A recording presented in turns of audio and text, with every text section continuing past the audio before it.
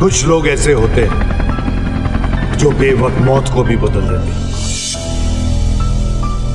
इतना खून देख के लगता है इसे बड़ी बेरहमी से मारा है। सर ये खून उसका नहीं हमारे लोगों का है।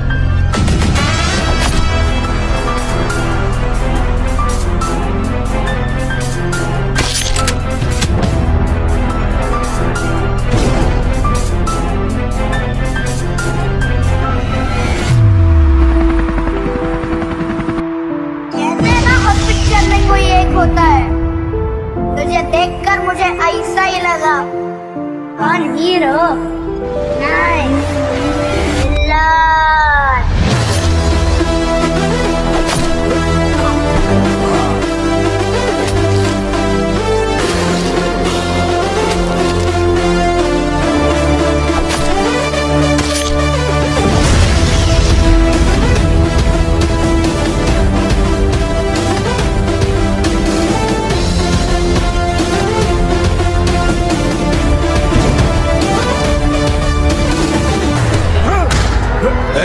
उसको लेके आ हक दोगे तो रामायण शुरू होगी। छीनोगे तो महाभारत फैसला तुम्हें करना है। रामायण की महाभारत।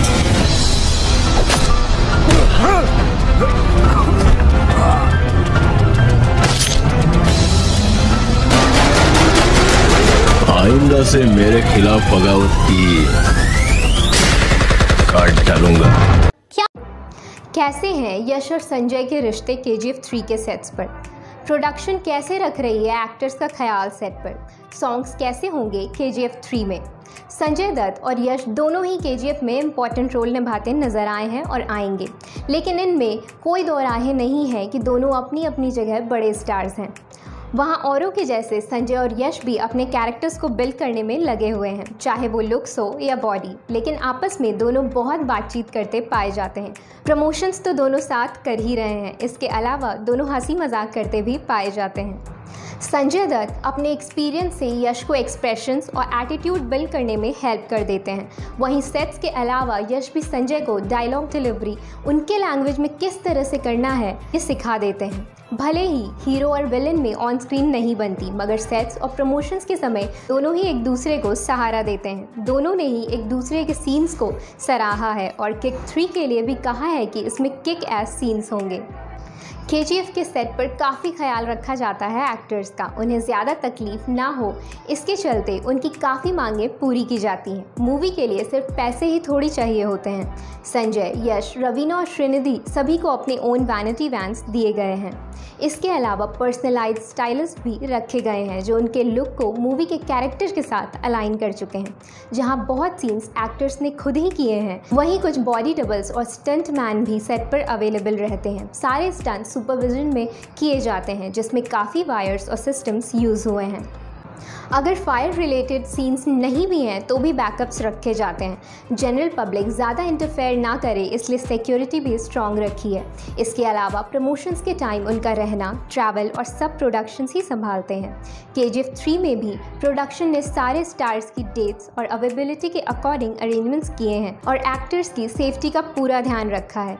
कमाल की बात यह है कि इतने बड़े स्टार्स होते हुए भी ये सेट पर मिलजुल कर काम करते दिखे हैं। के चैप्टर थ्री में भी सॉन्ग्स स्ट्रॉन्ग और पावरफुल होंगे और इसी के साथ एग्जॉटिक लोकेशंस भी ली जा सकती हैं। मूवी में म्यूज़िक रवि बसरूर की ही होगी। एक रोमांटिक सॉन्ग भी शूट होने की बातें आ रही हैं, जिसका सिंगर कौन होगा, ये अभी तक आउट नहीं हुआ है। है रॉकी और अधीरा की असली कहानी। कोलार गोल्ड फ़ील्ड में कितने साल पहले हुई थी खुदाई? Hello friends welcome back to your favourite YouTube channel Polygraph Studios मैं बड़ा सन्हा आज आपके लिए लेकर आई हूँ के जिप चैप्टर टू से जुड़ी कई सारी, जी हाँ दर्शकों, कई सारी इंटरेस्टिंग बातें। तो इस वीडियो को है तक ज़रूर से ज़रूर देखिएगा दर्शकों। कन्नड़ सुपरस्टार यश की मूवी का सीक्वल यानी के जी चैप्टर टू लगातार चर्चा में है। डायरेक्टर प्रशांत नील की के जी एफ़ टू का ट्रेलर 27 मार्च को रिलीज़ होगा।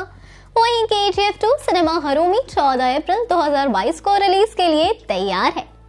K G F chapter to से पहले असली कोलार गोल्डफील्ड की कहानी से आपको रूबरू करवाते हैं, जिसे सोने उगलने वाले खदान भी कहा जाता है।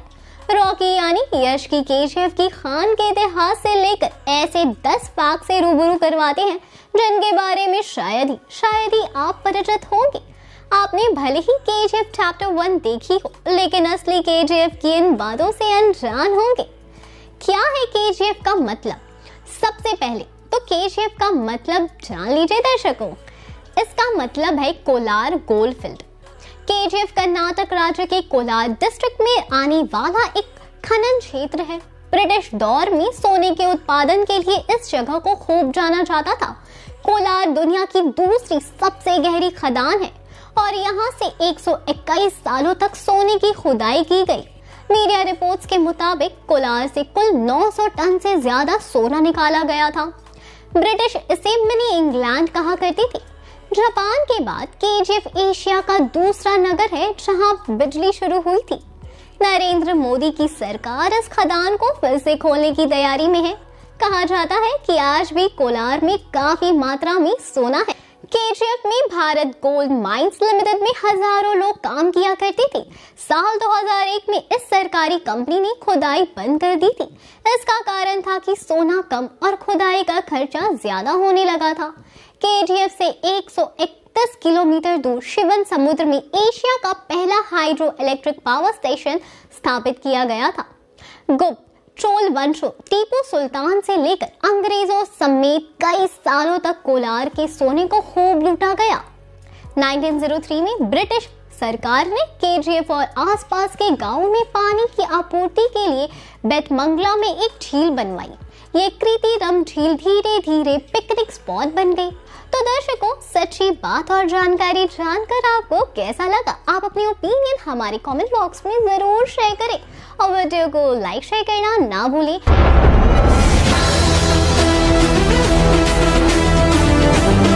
के जी थ्री को मार्वल यूनिवर्स जैसे फ्रेंचाइजी बनाने की तैयारी में जुड़े हैं मेकर्स क्या इस बार नहीं विलन की होगी एंट्री क्या है के की असली कहानी जहाँ से निकाला गया 900 टन गोल्ड के के पहले पार्ट से ही दर्शकों को इसके सीक्वल का बेसब्री से इंतज़ार था और हाल ही में इसका सीक्वल के चैप्टर टू रिलीज़ हुआ।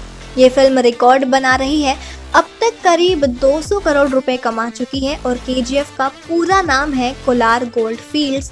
Superstar Yash की ये फ़िल्म कर्नाटक के कोलार में मौजूद सोने की खदानों पर आधारित है। ये एक ऐसी खदान है जहाँ कभी लोग इन्हें हाथ से खोदते थे और सोना निकाल लेते थे। 121 साल के इतिहास में इस खदानों से करीब 900 टन सोना निकाला जा चुका है और जिस सोने की खदान को फ़िल्म में दिखाया गया है, वो कर्नाटक के कोलार ज़िले के मुख्य लातल से 30 किलोमीटर दूर रॉबर्टसन पेट नाम की तहसील में है। दक्षिण अफ्रीका की पोनेट गोल्ड माइंस के बाद कोलार गोल्ड फील्ड्स की गिनती दुनिया की दूसरी सबसे गहरी खदान में ही की जाती है। इस खान के बारे में ही कई कहानियाँ प्रचलित थी और इन्हें सुनकर ब्रिटिश सरकार के लेफ्टिनेंट जॉन वॉरेंटेन यहाँ पहुँचे। और केजीएफ की सच्चाई जानने के लिए जॉन ने गाँव वालों को एक चुनौती दी। उन्होंने कहा, जो भी शख्स खदान से सोना निकाल कर दिखाएगा, उसे इनाम दिया जाएगा। इनाम पाने की चाहत में गाँव वाले बैलगाड़ी में खेदान की मिट्टी भरकर जॉन के पास पहुँचे और जॉन ने मिट्टी को जांचा तो वाकई में उसमें सोने की अंश मिले। और उस दौर में जॉन ने खदान से 56 किलो सोना निकलवाया था और इसके बाद 1804 से 1860 के बीच सोना निकालने की काफ़ी कोशिश हुई। लेकिन कुछ भी हाथ नहीं लगा। इसी दौरान कई लोगों की मौत होने के कारण खदान में खुदाई बंद करा दी गई और 1871 में इस खदान पर रिसर्च शुरू हुई। दरअसल रिटायर्ड ब्रिटिश सैनिक माइकल फिट गेरोल्ड लेवेली ने 1804 में एशियाटिक जर्नल में प्रकाशित एक रिपोर्ट पढ़ी जिसमें कोलार की इसी सोने की खदान का ज़िक्र था। लेवेली काफ़ी उत्साहित हुए और भारत आए। उन्होंने खदान के 100 किलोमीटर के दायरे में सफ़र किया और उन जगहों को चिन्हित किया जहाँ सोना मिल सकता है। नतीजा, वो सोने के भंडार वाली जगहों को खोजने में सफल रहे। पहली सफलता के बाद जॉन ने 1873 में मैसूर के महाराज से खनन करने के लिए लाइसेंस जारी करने की अनुमति मांगी। महाराजा ने 2 फरवरी 1875 को लाइसेंस जारी किया और जॉन ने इसके लिए निवेशक ढूंढे और खनन का काम British company John Taylor and Sons को सौंपा।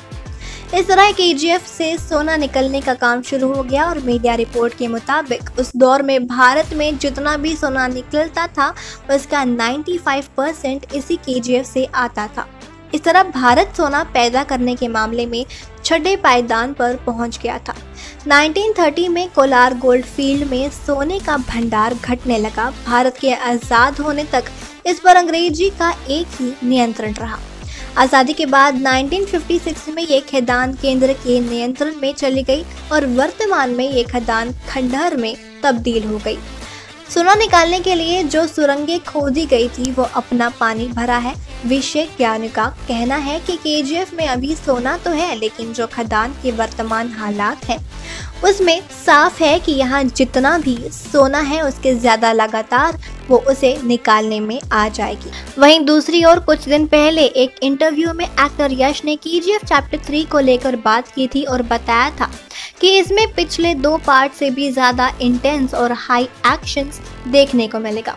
वहीं अब मेकर्स की तैयारी है कि वो के को मार्वल यूनिवर्स के तौर पर आगे बढ़ाने की और इसमें अन्य बड़ी फ़िल्मों के एक्टर्स भी जुड़ेंगे। विजय किरंगदर ने बताया कि वो एक के को मार्वल यूनिवर्स के तौर पर डेवलप करेंगे और इसके लिए अलग अलग फ़िल्मों के दिलचस्प किरदारों को लाया जाएगा। विजय किरंगदूर का कहा है कि मेकर्स की प्लानिंग डॉक्टर स्ट्रेंज या फिर स्पाइडरमैन होम कमिंग जैसा यूनिवर्स बनाने की है। और जब विजय किरंगदूर से पूछा गया कि उनकी प्लानिंग के को मार्वल यूनिवर्स जैसा बनाने की है तो फिर नॉर्थ से, इसमें कौन से एक्टर्स शामिल हो सकते हैं? तो उन्होंने कहा कि ऐसे स्टार्स को वो ले सकते हैं जो एक्शन जानते हैं। जैसे कि ऋतिक रोशन। उन्होंने बताया कि वो के में मैचो लुक वाले स्टार्स और कैरेक्टर्स को आगे लाने वाले मार्टर्स के इंट्रोड्यूस कराएँगे। अब देखना यह है कि के चैप्टर थ्री में क्या ट्विस्ट और क्या नए किरदार देखने को मिलने वाले हैं। फैंस के जी एफ़ टू में दिखाए गए पोस्ट क्रेडिट सीन के बाद से ही तीसरे पार्ट का बेसब्री से इंतज़ार कर रहे हैं। वहीं खबर है कि K G F chapter three में विलन के रोल के लिए बाहुबली फेम राणा दगुबाती को अप्रोच किया गया है। और राणा दगुबाती बाहुबली में भल्लाल देव के किरदार में दिखे थे। हालाँकि अभी कुछ कंफर्म नहीं किया गया है और के चैप्टर टू में विलन अधीरा की मौत हो चुकी है और ऐसे में एक नए विलन की खोज जारी है। तो फिर आपके इसके ऊपर क्या विचार है, हमें ये कमेंट सेक्शन पर ज़रूर बताएँ और हाँ दोस्तों जाते जाते इस वीडियो को लाइक और हमारे चैनल बॉलीग्राफ स्टूडियोज को ज़रूर सब्सक्राइब कीजिएगा। वापस से एंट्री कैसे चैलेंजेस का सामना करना पड़ेगा रॉकी भाई को? नमस्कार दर्शकों, मैं हूँ आपके साथ कनिका लिंगपाल और आप देख रहे हैं बॉलीग्रेड स्टूडियोज इन्हीं सारे सवालों को जवाब जानने के लिए बने रहिए हमारे चैनल के साथ। जैसा कि आप लोगों को पता है कि जब के जी एफ़ टू के एंड के सीन में के जी एफ़ थ्री के आने की खबरों को पका गया, किया गया था, तभी से फैंस में अलग ही उत्सुकता है फ़िल्म के आगे की कहानी जानने की। जैसे कि आप सभी ने देखा कि के जी एफ़ टू में रॉकी मर जाता है। लेकिन कोई भी फ़िल्म डायरेक्टर ऐसे ही दमदार कैरेक्टर को यूँ ही नहीं खत्म कर सकता, जिसकी वजह से फ़िल्म को सफलता पर सफलता मिल रही है। जी हाँ आपने बिल्कुल सही समझा। रॉकी भाई फिर से दिखाई देंगे हमें मूवी में। जहाँ तक फ़िल्म की बात करें तो सीन में बस इतना ही दिखाया गया था कि रॉकी पानी में कूद जाता है। इससे ये साबित नहीं होता कि वो मर गए हैं। और ये तो सिनेमा है साहब। यहाँ कौन कब ज़िंदा हो जाए, कहना मुश्किल है। अगर हम आगे की कहानी की बात करें तो इसमें ये दिखाया जाएगा कि तीन साल के इंटरवल में रॉकी ने कई देश विदेशों में लगभग चौदह कंट्रीज़ में क्राइम किया। साथ ही के काफ़ी डेवलप हो चुका है। एक और बात ऐसी है जो कि प्रूफ करता है कि रॉकी ज़िंदा है। तो हेलीकॉप्टर वाला सीन चैप्टर वन में दिखाया गया है जिसमें रॉकी पुलिस स्टेशन पे बैठा हुआ है और रॉकी की आईडी देखने के बाद पुलिस वाला पीछे हट जाता है। ये गारंटेड चैप्टर थ्री का सीन होगा, क्योंकि चैप्टर टू में इस सीन से कोई भी बात नहीं ली गई। खबरों की माने तो रॉकी को बचाने वाला इनायत खलील हो सकता है। और इसी के साथ फ़िल्म में इसकी वापसी का भी सीन दिखाया जाएगा साथ ही आपको ये भी देखने को मिलेगा कि रॉकी का रमिका सेन के साथ डील हो रखा है, जिसकी वजह से रॉकी ने अपना बिजनेसमैन वाला दिमाग लगाकर झूठी मौत की कहानी बनाकर दिखा। ऐसा करने के लिए उसे रमिका सेन नहीं कहा था, क्योंकि उस वक्त इलेक्शन का समय था और रमिका नहीं चाहती थी कि किसी भी हालत में उनका गलत इंप्रेशन पड़े लोगों का। आने वाले सीन में रमिका सेन, रॉकी की मौत और के जी एफ़ थ्री में एक बड़ी कड़ी साबित हो सकती आपको बता दें कि इस बार श्रीनिधि शेट्टी के जी एफ़ थ्री में नज़र नहीं आएँगी। उनका कैरेक्टर था, अब वो खत्म हो चुका तो आप कहानी से अंदाज़ा लगा ही सकते हैं कि फ़िल्म इस बार बॉक्स ऑफ़िस पर एक शानदार पारी खेल रही है। तो चलिए इस चटपटी अपडेट के साथ आज का वीडियो यही करते हैं। उम्मीद करते हैं आपको हमारा वीडियो पसंद आया होगा। और वीडियो को पसंद आए तो इसे लाइक शेयर सब्सक्राइब करना नहीं भूलें। से क्या सीख सकते हैं प्रशांत ने? So hello to my lovely viewers welcome back to your favourite YouTube channel Bollygraph Studios this is Riya और आज मैं आप सभी के लिए लाई हूँ एक ऐसी दिलचस्प खबर जो कि जुड़ी है बॉलीवुड की upcoming film K G F chapter three के साथ। तो दोस्तों, अंत तक जुड़े रहिए मेरे साथ। प्रशांत Neel director film K G F chapter two को सिनेमा घरों में हिंदी, तमिल, तेलुगु, कन्नड़ और मलयालम भाषा में फोर्टीन अप्रैल को रिलीज़ कर चुके हैं, जो अब के जी एफ़ थ्री के साथ चर्चा में बनी हुई है। पहले पार्ट की तरह इस फ़िल्म को भी बाल्टी भर भर कर लोगों का प्यार मिल रहा है। और 4000 से ज़्यादा स्क्रीन पाकर पहले ही दिन फ़िल्म ने सिर्फ़ हिंदी में 250 करोड़ से ज़्यादा की कमाई कर ली है। फ़िल्म में मार धाड़ कूट कूट कर भरा हुआ है। गाने को भी कुछ एक जगह सुनने को मिल रहा है। और फ़िल्म में शोर भी भरपूर है, जिससे आपके कान के पर्दे भी फटने की पूरी पूरी गुंजाइश है। वैसे पिक्चर पूरी साफ़ सुधरी है मतलब कि कोई इंटीमेट सीन्स नहीं है। जी हाँ मतलब पूरी फैमिली मिलकर ये फ़िल्म आराम से देख भी सकती है। लेकिन लेकिन लेकिन, फ़िल्म में कई जगह मनोरंजन के नाम पर कुछ सीन्स और कैरेक्टर्स ऐसे थे जिन्हें देखकर निराशा होती है। जिन पर डायरेक्टर को के जी एफ़ थ्री को हिट बनाने के लिए मन लगाकर काम करने की ज़रूरत है। जैसे कि K G F chapter one में कई सारे डॉन थे। गरुड़ा, कमल एंड्रयूज विराट, जॉन, राजेंद्र, देसाई शेट्टी, सूर्यवर्धन, गुरु पंडियन मतलब कि हर सीन में हर एक नया विलन पूरे ढाई घंटे में यही जगह जगह छाए भी हुए थे। पहले पार्ट में तो इनका रॉब रुतबा समझ आ रहा था। फीलिंग आ रही थी कि भाई ये खतरनाक लोग हैं। रॉकी इनसे कैसे निपटेगा? लेकिन जब दूसरे पार्ट में विलन की यही टोली दोबारा देखने को मिली तो उनका वो रॉब फीका नज़र आया। शेट्टी और एंड्रयूज फिर भी कुछ हद तक अपने लुक से गिरते फिरते विलन गिरी दिखा रहे थे, लेकिन बाद में भी उन्हें मुँह की ही खानी पड़ी। चैप्टर टू में मेकर्स दो नए विलन लेकर भी आए, एक अधीरा और दूसरा इनायत खलील, जिन्हें शुरू में देखकर लगा कि ये दोनों फ़िल्म में आग लगा देंगे। गदर काट देंगे। लेकिन कुछ नहीं हुआ। सब सुतली, बम निकले। कुछ तो आपस में ही लड़ कट के मर गए और कुछ तो रॉकी ने ही खत्म कर दिया। बात तो तब बनती जब इनकी लड़ाई आमने सामने होती। फ़िल्म को मानो कांड छाट करके बस रिलीज़ कर दिया था। तो अगर Prashanth Neel K G three को मार्वल यूनिवर्स बनाना चाहते हैं तो उन्हें उसी की तरह अपने विलन को इतना मज़बूत करना होगा कि वो आखिरी तक अपनी परत दर परत खोलते रहें। क्योंकि जब कोई एक्टर विलन का किरदार करता है तो लोगों की उम्मीद उससे बढ़ जाती है कि वो हीरो से दस कदम आगे ही होगा। बेशक हीरो कितना ही स्ट्रॉन्ग क्यों ना हो। और अगर हम संजय दत्त की अग्निपथ वाले कैरेक्टर के बारे में बात करें तो ऋतिक के सामने संजय डट के खड़े थे। तो बेशक साउथ की फ़िल्म हिट हो रही है, लेकिन उन्हें बॉलीवुड से विलन से कुछ सीखने की ज़रूरत है। बता दें कि जी थ्री में अगर प्रशांत नील विलन पर काम करते हैं तो बेशक ये एक अच्छी सुपर फ्रेंचाइजी निकाल कर सामने ही आएगी। बता दें के जी एफ़ थ्री की शूटिंग अक्टूबर 2022 से की जाने वाली है। तो फिर आप इस सुपर फ्रेंचाइजी के लिए कितने ज़्यादा एक्साइटेड हैं? मेकर्स ने अनाउंस की के जी एफ़ की कंफर्म्ड रिलीज़ डेट आखिर क्यों किया गया के जी एफ़ के रिलीज़ डेट को चेंज हेलो दोस्तों, आप सभी का स्वागत है पॉलीग्राथ स्टूडियोज में। गाइज़ ये तो सभी को पता है कि साउथ एक्टर्स ने किस तरह से हिंदी सिनेमा के फैंस को अपना दीवाना बना दिया है। आज के टाइम पर लोग टॉलीवुड के एक्टर्स और फ़िल्मों के इस कदर दीवाने हैं कि टॉलीवुड की फ़िल्मों का क्रेज अब तो पूरे वर्ल्ड वाइड लेवल पर हो गया है। और शायद इसलिए साउथ एक्टर्स आजकल सुर्खियों में बने रहते हैं। तो आप सोच रहे होंगे कि हम ये बातें आपको क्यों बता रहे हैं? आप तो ऑलरेडी ये सब जानते हैं। तो चलिए आपको बताते हैं कि आखिर क्यों हम कर रहे हैं आज साउथ फ़िल्मों के क्रेज के बारे में बात। दरअसल आज हम बात करने वाले हैं एक ऐसे फ़िल्म की जिसने पूरे वर्ल्ड में अपना जादू चलाया है। हम बात कर रहे हैं के जी एफ़ टू की। जब film K G F release हुई थी तो फ़िल्म के मैसिव सक्सेस को देख के मेकर्स ने फ़िल्म के दूसरे पार्ट यानी के जी एफ़ टू को भी रिलीज़ किया, जिसके बाद फ़िल्म ने बॉक्स ऑफ़िस पर जमकर कमाई की। और ना सिर्फ़ बॉक्स ऑफ़िस बल्कि लोगों के दिमाग में भी इस तरह से बस गई कि लोग फ़िल्म के सेकेंड पार्ट को देखने के बाद ही के जी एफ़ थ्री के लिए सवाल करने लगे कि आखिर कब रिलीज़ होगी film K G F three पर मेकर्स ने फ़िल्म को लेकर कोई भी ऑफिशियल अनाउंसमेंट नहीं की थी। पर आज हम आपको बताने वाले हैं एक गुड न्यूज़ जिसे सुन के आपकी एक्साइटमेंट और भी ज़्यादा बढ़ जाएगी।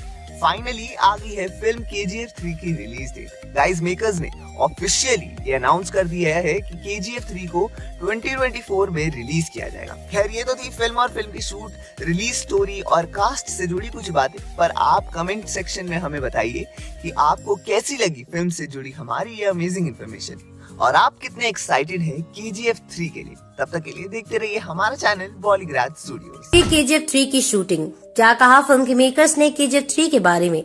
नमस्कार, एक बार फिर से आप सभी का स्वागत है बॉलीग्राज स्टूडियोज में और मैं हूँ आपके साथ अनुष्का त्यागी।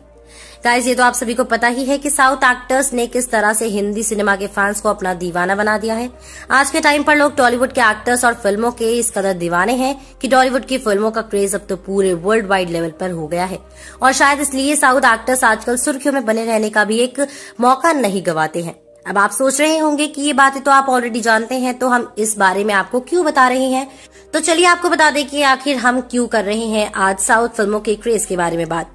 दरअसल आज हम बात करने वाले हैं एक ऐसी फ़िल्म के बारे में जिसने पूरे वर्ल्ड में अपना जादू चलाया है। जी हाँ दोस्तों, हम बात कर रहे हैं के जी एफ़ टू की।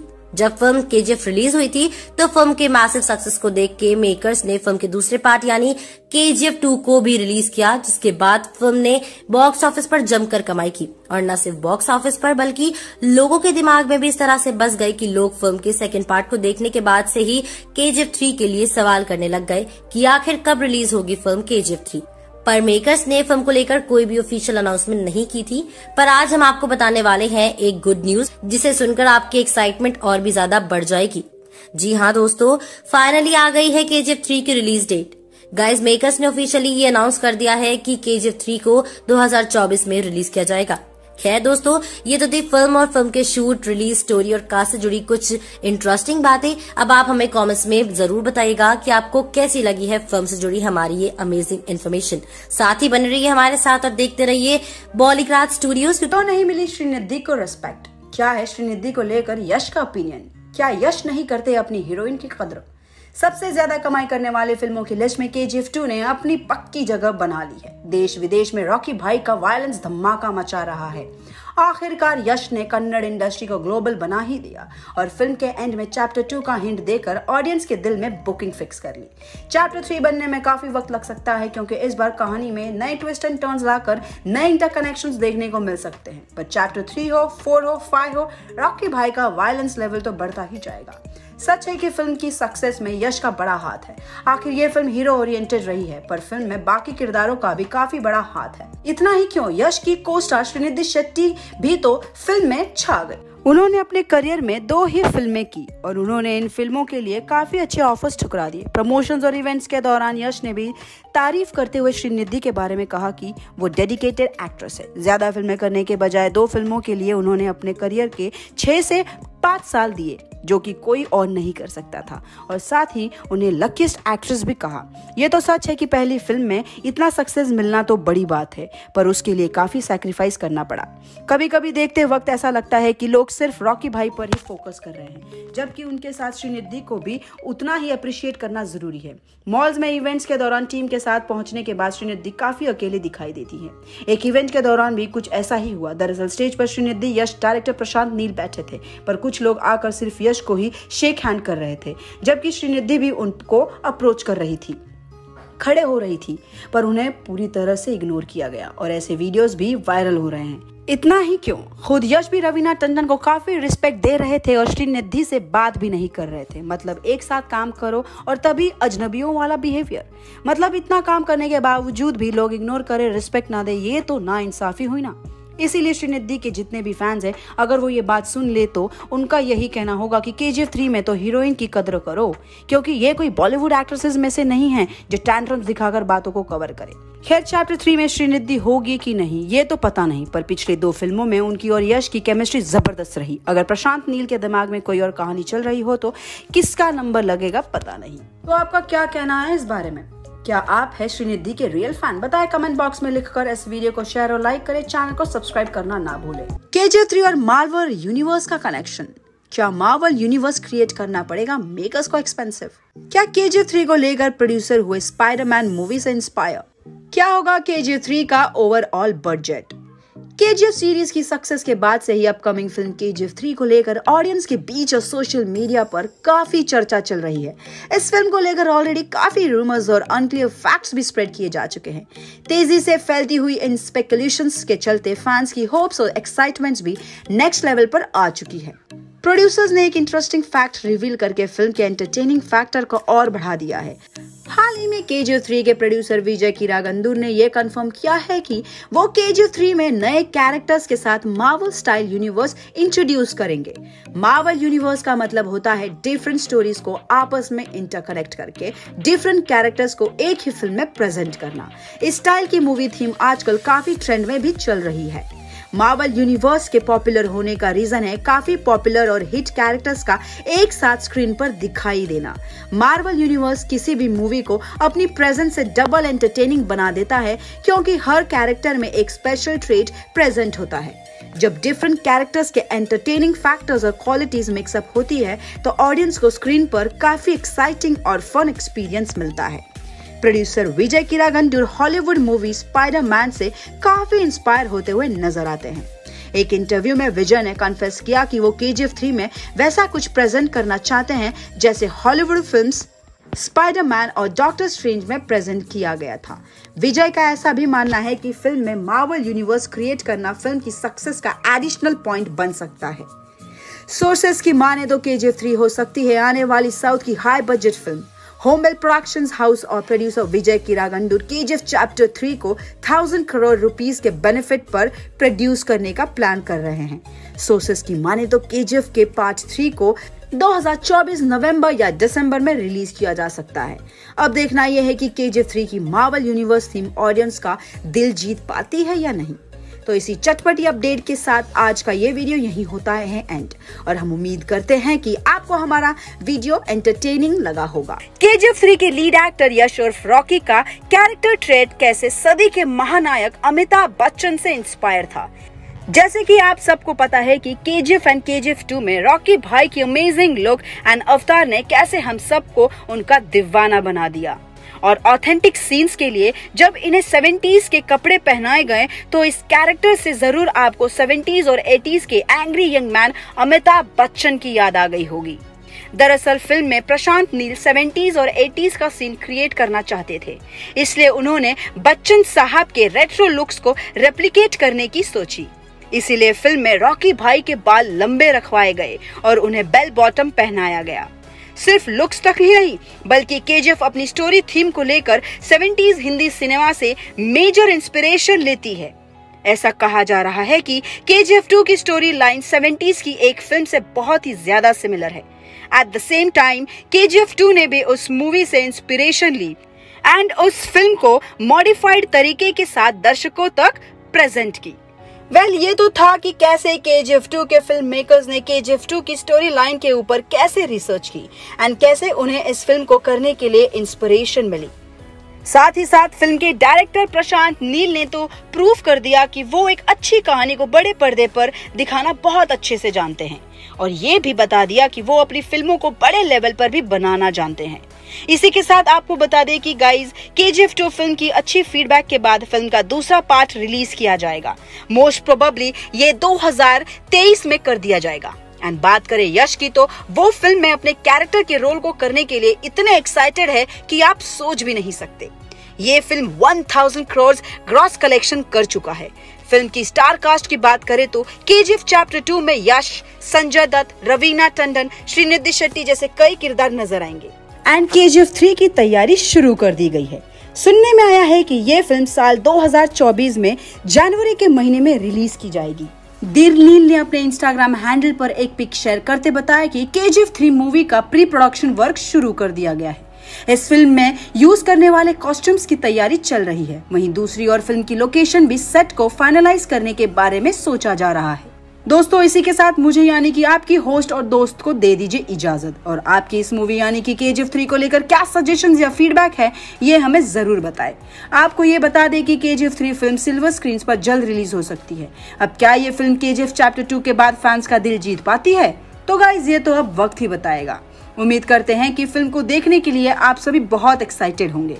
साथ ही साथ इन फैक्ट्स के बारे में जानकर काफ़ी हैरान भी रह जाएँगे। दोस्तों, आपको हमारी ये वीडियो कैसी लगी हमें नीचे कमेंट सेक्शन में ज़रूर बताना। Don't forget to like share and subscribe to our YouTube channel to overtake करेगी बाहुबली को। किस तरह के चैप्टर टू सत्रह करोड़ के मार्क को क्रॉस कर सकती है? के टू ने हाल ही में कौन से रिकॉर्ड्स ब्रेक किए हैं? इन सभी सवालों के जवाब आपको इस वीडियो में मिल जाएँगे। तो इस वीडियो को पूरा ज़रूर देखिएगा। स्वागत है आपका इस वीडियो में, जहाँ आज हम बात करेंगे डायरेक्टर प्रशांत नील की हाल ही में रिसेंट रिलीज़ फ़िल्म के चैप्टर टू के बारे में। के चैप्टर टू ने अपने अगले चैप्टर की घोषणा तो की ही थी, मगर साथ ही साथ वो लगातार एक के बाद एक रिकॉर्ड्स को तोड़ते हुए आगे बढ़ती जा रही है। केजीएफ चैप्टर टू बिना रुके रिकॉर्ड्स तो तोड़ ही रही है। मगर साथ ही साथ फैंस के लिए चैप्टर टू को लेकर जो उम्मीदें हैं, वो बहुत लगातार बढ़ती जा रही है। जहाँ पुष्पा और ट्रिपल जैसी न्यू साउथ इंडियन मूवीज़ ने पूरे इंडिया भर में अपना नाम बनाया। वहीं के चैप्टर टू एक एस्टेब्लिश्ड फ्रेंचाइजी थी ऑलरेडी और उस अपनी लेगेसी को आगे कैरी फॉरवर्ड करना था, जिसे के जी एफ़ टू ने बखूबी निभाया और साथ ही साथ K G F chapter one का रिकॉर्ड तोड़ ही दिया। लेकिन बाहुबली टू का इतना लंबे टाइम से चलते आ रहे 552 करोड़ के वीकेंड कलेक्शन रिकॉर्ड को भी ब्रेक कर दिया। जैसा कि हमने अपनी पिछली वीडियो में भी आपको बताया था कि K G F chapter two की स्पीडी कलेक्शन के ऊपर ब्रेक लग सकती है, जब डॉक्टर स्ट्रेंज टू रिलीज़ की जाएगी। और बिल्कुल वैसा ही हुआ। K G F chapter two की कलेक्शन काफ़ी हद तक स्लो डाउन हो चुकी है, लेकिन रुकी नहीं है। ये बात कंफर्म है। के जी एफ़ चैप्टर टू के लिए जो रिकॉर्ड सबसे नज़दीक नज़र आ रहा था, वो था ट्रिपल आर का, जिसका कलेक्शन था 1100 करोड़ से भी ज़्यादा। और हाल ही में के जी एफ़ चैप्टर टू ने इस रिकॉर्ड को भी ब्रेक कर दिया। वो भी ट्रिपल आर मूवी के लगभग आधे टाइम में, जो कि लिटरली बहुत ही ज़्यादा बड़ी बात है। अब हाईएस्ट इंडियन ग्रॉसिंग मूवीज़ की लिस्ट में के जी एफ़ चैप्टर टू सिर्फ़ और सिर्फ़ दो मूवीज़ से पीछे है, दंगल और Baahubali two the conclusion and फ़िलहाल ये मूवीज़ अभी भी थिएटर्स में रन की जा रही है। और जब आप इस मूवी को देख रहे होंगे, तब तक K G F chapter two के रिलीज़ को वन मंथ पूरा हो चुका होगा। बस अब वेट है K G F chapter two के ओटीटी रिलीज़ का and K G F makers ने इस मूवी के ओ टी टी राइट्स के लिए 400 करोड़ तक की डील फाइनल की है। दस, अगर थिएटर रन को कंप्लीट करने के पहले अगर K G F chapter two thirteen hundred crore के मार्क को टच करती है तो K G F chapter two का ऑफिशियल टोटल मार्क हो जाएगा 1700 करोड़ का। और फिर वो काफ़ी आसानी से बाहुबली टू और दंगल को भी ओवरटेक कर सकती है। मगर ये तो वक्त ही बताएगा। तब तक आप हमें बताइए कि आपके अकॉर्डिंग क्या K G F chapter two Baahubali two को ओवरटेक कर पाएगी या फिर नहीं। अपने विचार हमें कमेंट सेक्शन में ज़रूर बताइएगा। रही बात हमारी तो हम आपको बताएँगे कि कौन से फैक्टर्स के जी एफ़ के फेवर में हैं और वो इस रिकॉर्ड को तोड़ सकती है। के जी एफ़ पर रिसर्च क्या है फ़ैन दीक्षा की के जी एफ़ थ्री की इन्वेस्टिगेशन कब हो सकती है फ़िल्म रिलीज़ कैसा है के जी एफ़ थ्री का fan made trailer KGF series की सक्सेस के बाद से ही अपकमिंग फ़िल्म केजीएफ थ्री को लेकर ऑडियंस के बीच अलग ही चर्चा चल रही है। इस फ़िल्म के रिलीज़ को लेकर फैंस काफ़ी एक्साइटेड है और सोशल मीडिया पर अपनी एक्साइटमेंट दिखाने से पीछे नहीं हट रही है। एक्साइटमेंट लेवल इतना बढ़ चुका है कि लेटेस्ट अपडेट्स जानने के लिए फैंस ने इस फ़िल्म को लेकर सेल्फ रिसर्च करना भी शुरू कर दिया है। चलिए देखते हैं कि यश और केजीएफ सीरीज़ की फ़ैन यूट्यूबर दीक्षा ने क्या इंटरेस्टिंग इन्वेस्टिगेशन की है। यूट्यूबर दीक्षा फिल्मी इंडियन नाम से अपना एक यूट्यूब चैनल चलाती है। हाल ही में दीक्षा ने के थ्री को लेकर एक इंटरेस्टिंग स्टोरी शेयर की है। दीक्षा की रिसर्च के अकॉर्डिंग के सीरीज़ की सक्सेस के बाद ये बात तो पक्की है कि के थ्री बॉक्स ऑफ़िस पर ज़रूर हिट होगी। इंटरेस्टिंग बात तो ये है कि दीक्षा की रिसर्च के अकॉर्डिंग के थ्री और सालार का आपस में एक कनेक्शन जुड़ा हुआ है। और ऑडियंस के बीच असली एक्साइटमेंट ये सीक्रेट कनेक्शन जानने के लिए ही है। मेकर्स की तरफ़ से भी इस फ़िल्म की रिलीज़ को लेकर काफ़ी हिंट्स मिल रही है। पर अभी तक मीडिया में इस फ़िल्म की मेकिंग और रिलीज़ को लेकर कोई ऑफिशियल स्टेटमेंट नहीं आई है। सोर्सेस की माने तो इस फ़िल्म को लेकर शूटिंग रिलेटेड वर्क स्टार्ट किया जा चुका है और फ़िल्म की रिलीज़ साल 2023 में एक्सपेक्ट की जा रही है। फैंस का ऐसा कहना है कि केजीएफ चैप्टर टू में काफ़ी क्वेश्चंस के आंसर्स नहीं मिल पाए थे, जिसके चलते फैंस के बीच काफ़ी सस्पेंस बना हुआ है। डायरेक्टर का चैप्टर टू में इतना सस्पेंस बनाए रखने का साफ़ रीजन है कि केजीएफ चैप्टर थ्री को बड़े पर्दे पर लेकर आना है। अपकमिंग के जी थ्री इतनी ट्रेंडिंग करनी है कि फैंस ने अपना excitement level K G three का इमेजिनरी ट्रेलर बनाकर भी शो किया। हालाँकि इस ट्रेलर में एक्चुअल मूवी से रिलेटेड कुछ भी नहीं था। फिर भी ट्रेलर में कुछ एक्सपेक्टेड एक्शन सीन्स इंक्लूड किए गए और ऑडियंस के बीच क्रेज और बढ़ाने के लिए यश की इमेजिनरी एंट्री भी दिखाई गई। ट्रेलर के कुछ एक्शन सीन्स को के जी एफ़ थ्री की स्टोरी लाइन से काफ़ी हद तक रिलेट करने की कोशिश भी की गई। इस ट्रेलर के रिलीज़ होते ही फैंस ने जमकर लाइक्स और कमेंट्स किए और इस क्रिएटिव ट्रेलर को काफ़ी अप्रिशिएट भी किया गया। तो इसी चटपटी अपडेट के साथ आज का ये वीडियो यही होता है एंड, और हम उम्मीद करते हैं कि हम आपको एंटरटेन कर पाए होंगे। वीडियो पसंद आने पर लाइक शेयर और सब्सक्राइब करना ना भूलें।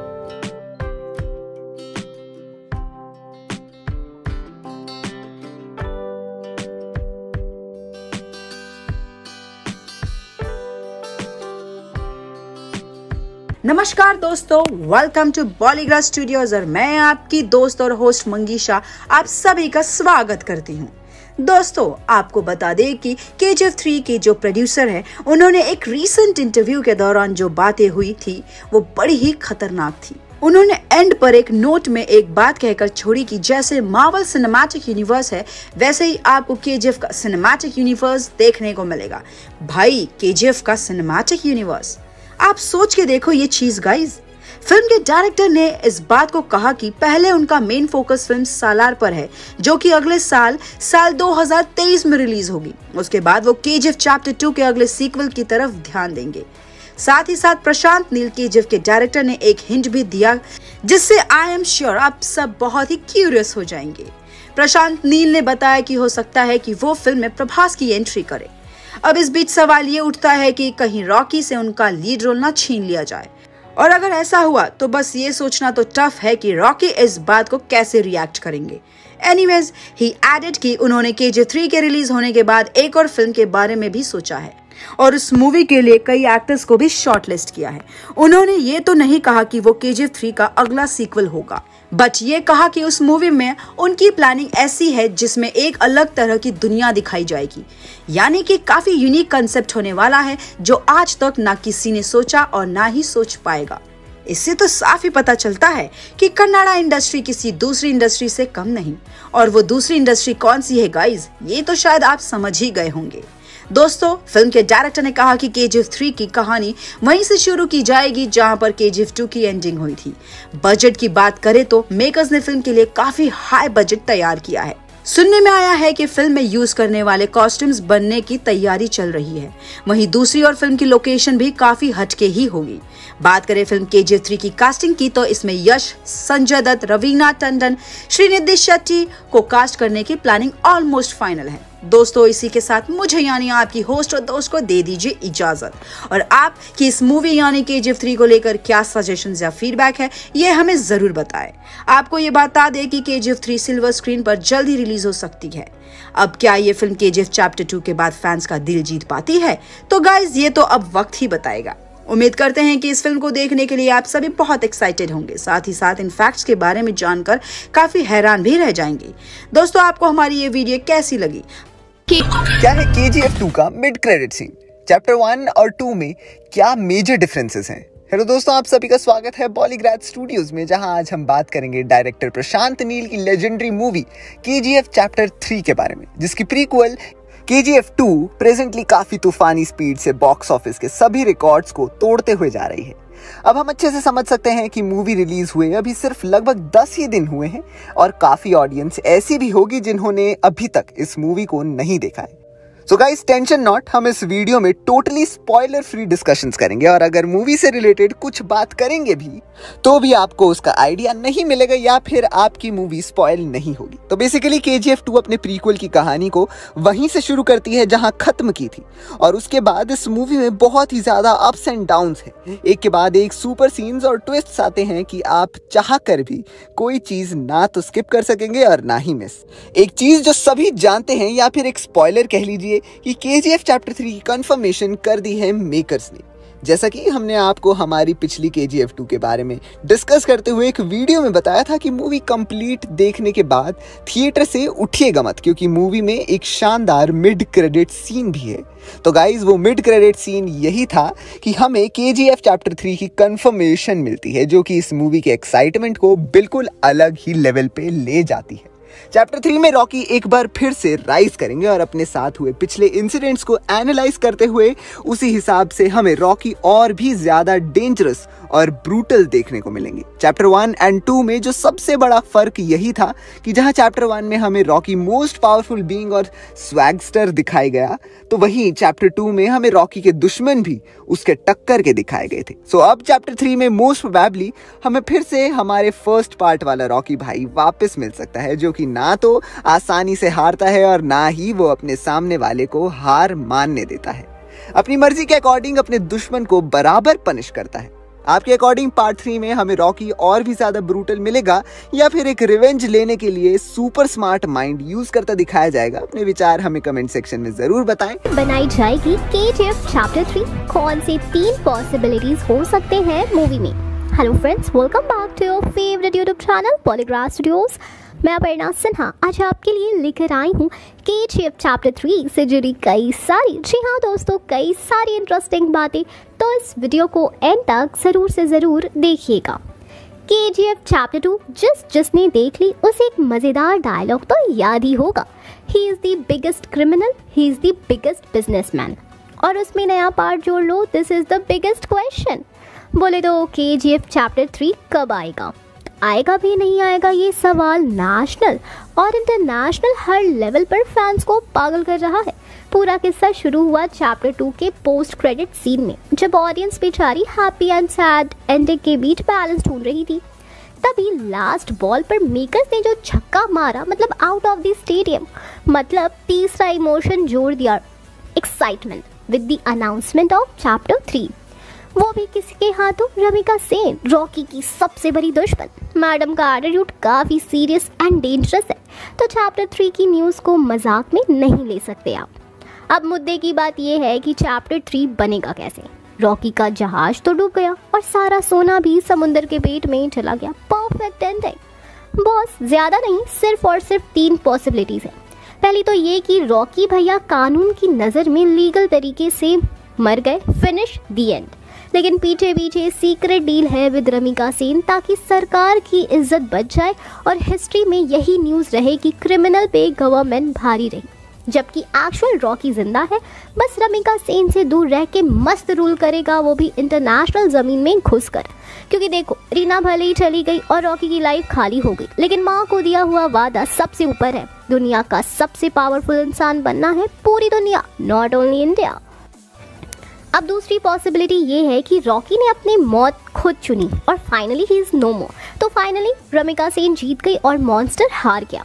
अब चैप्टर थ्री में हमें जो दिखाया जाएगा वो होगा रॉकी का फ्लैशबैक बोले तो 1977 से लेकर 1981 वाला टाइम जिसको मूवी में फास्ट फॉरवर्ड मार दिया गया.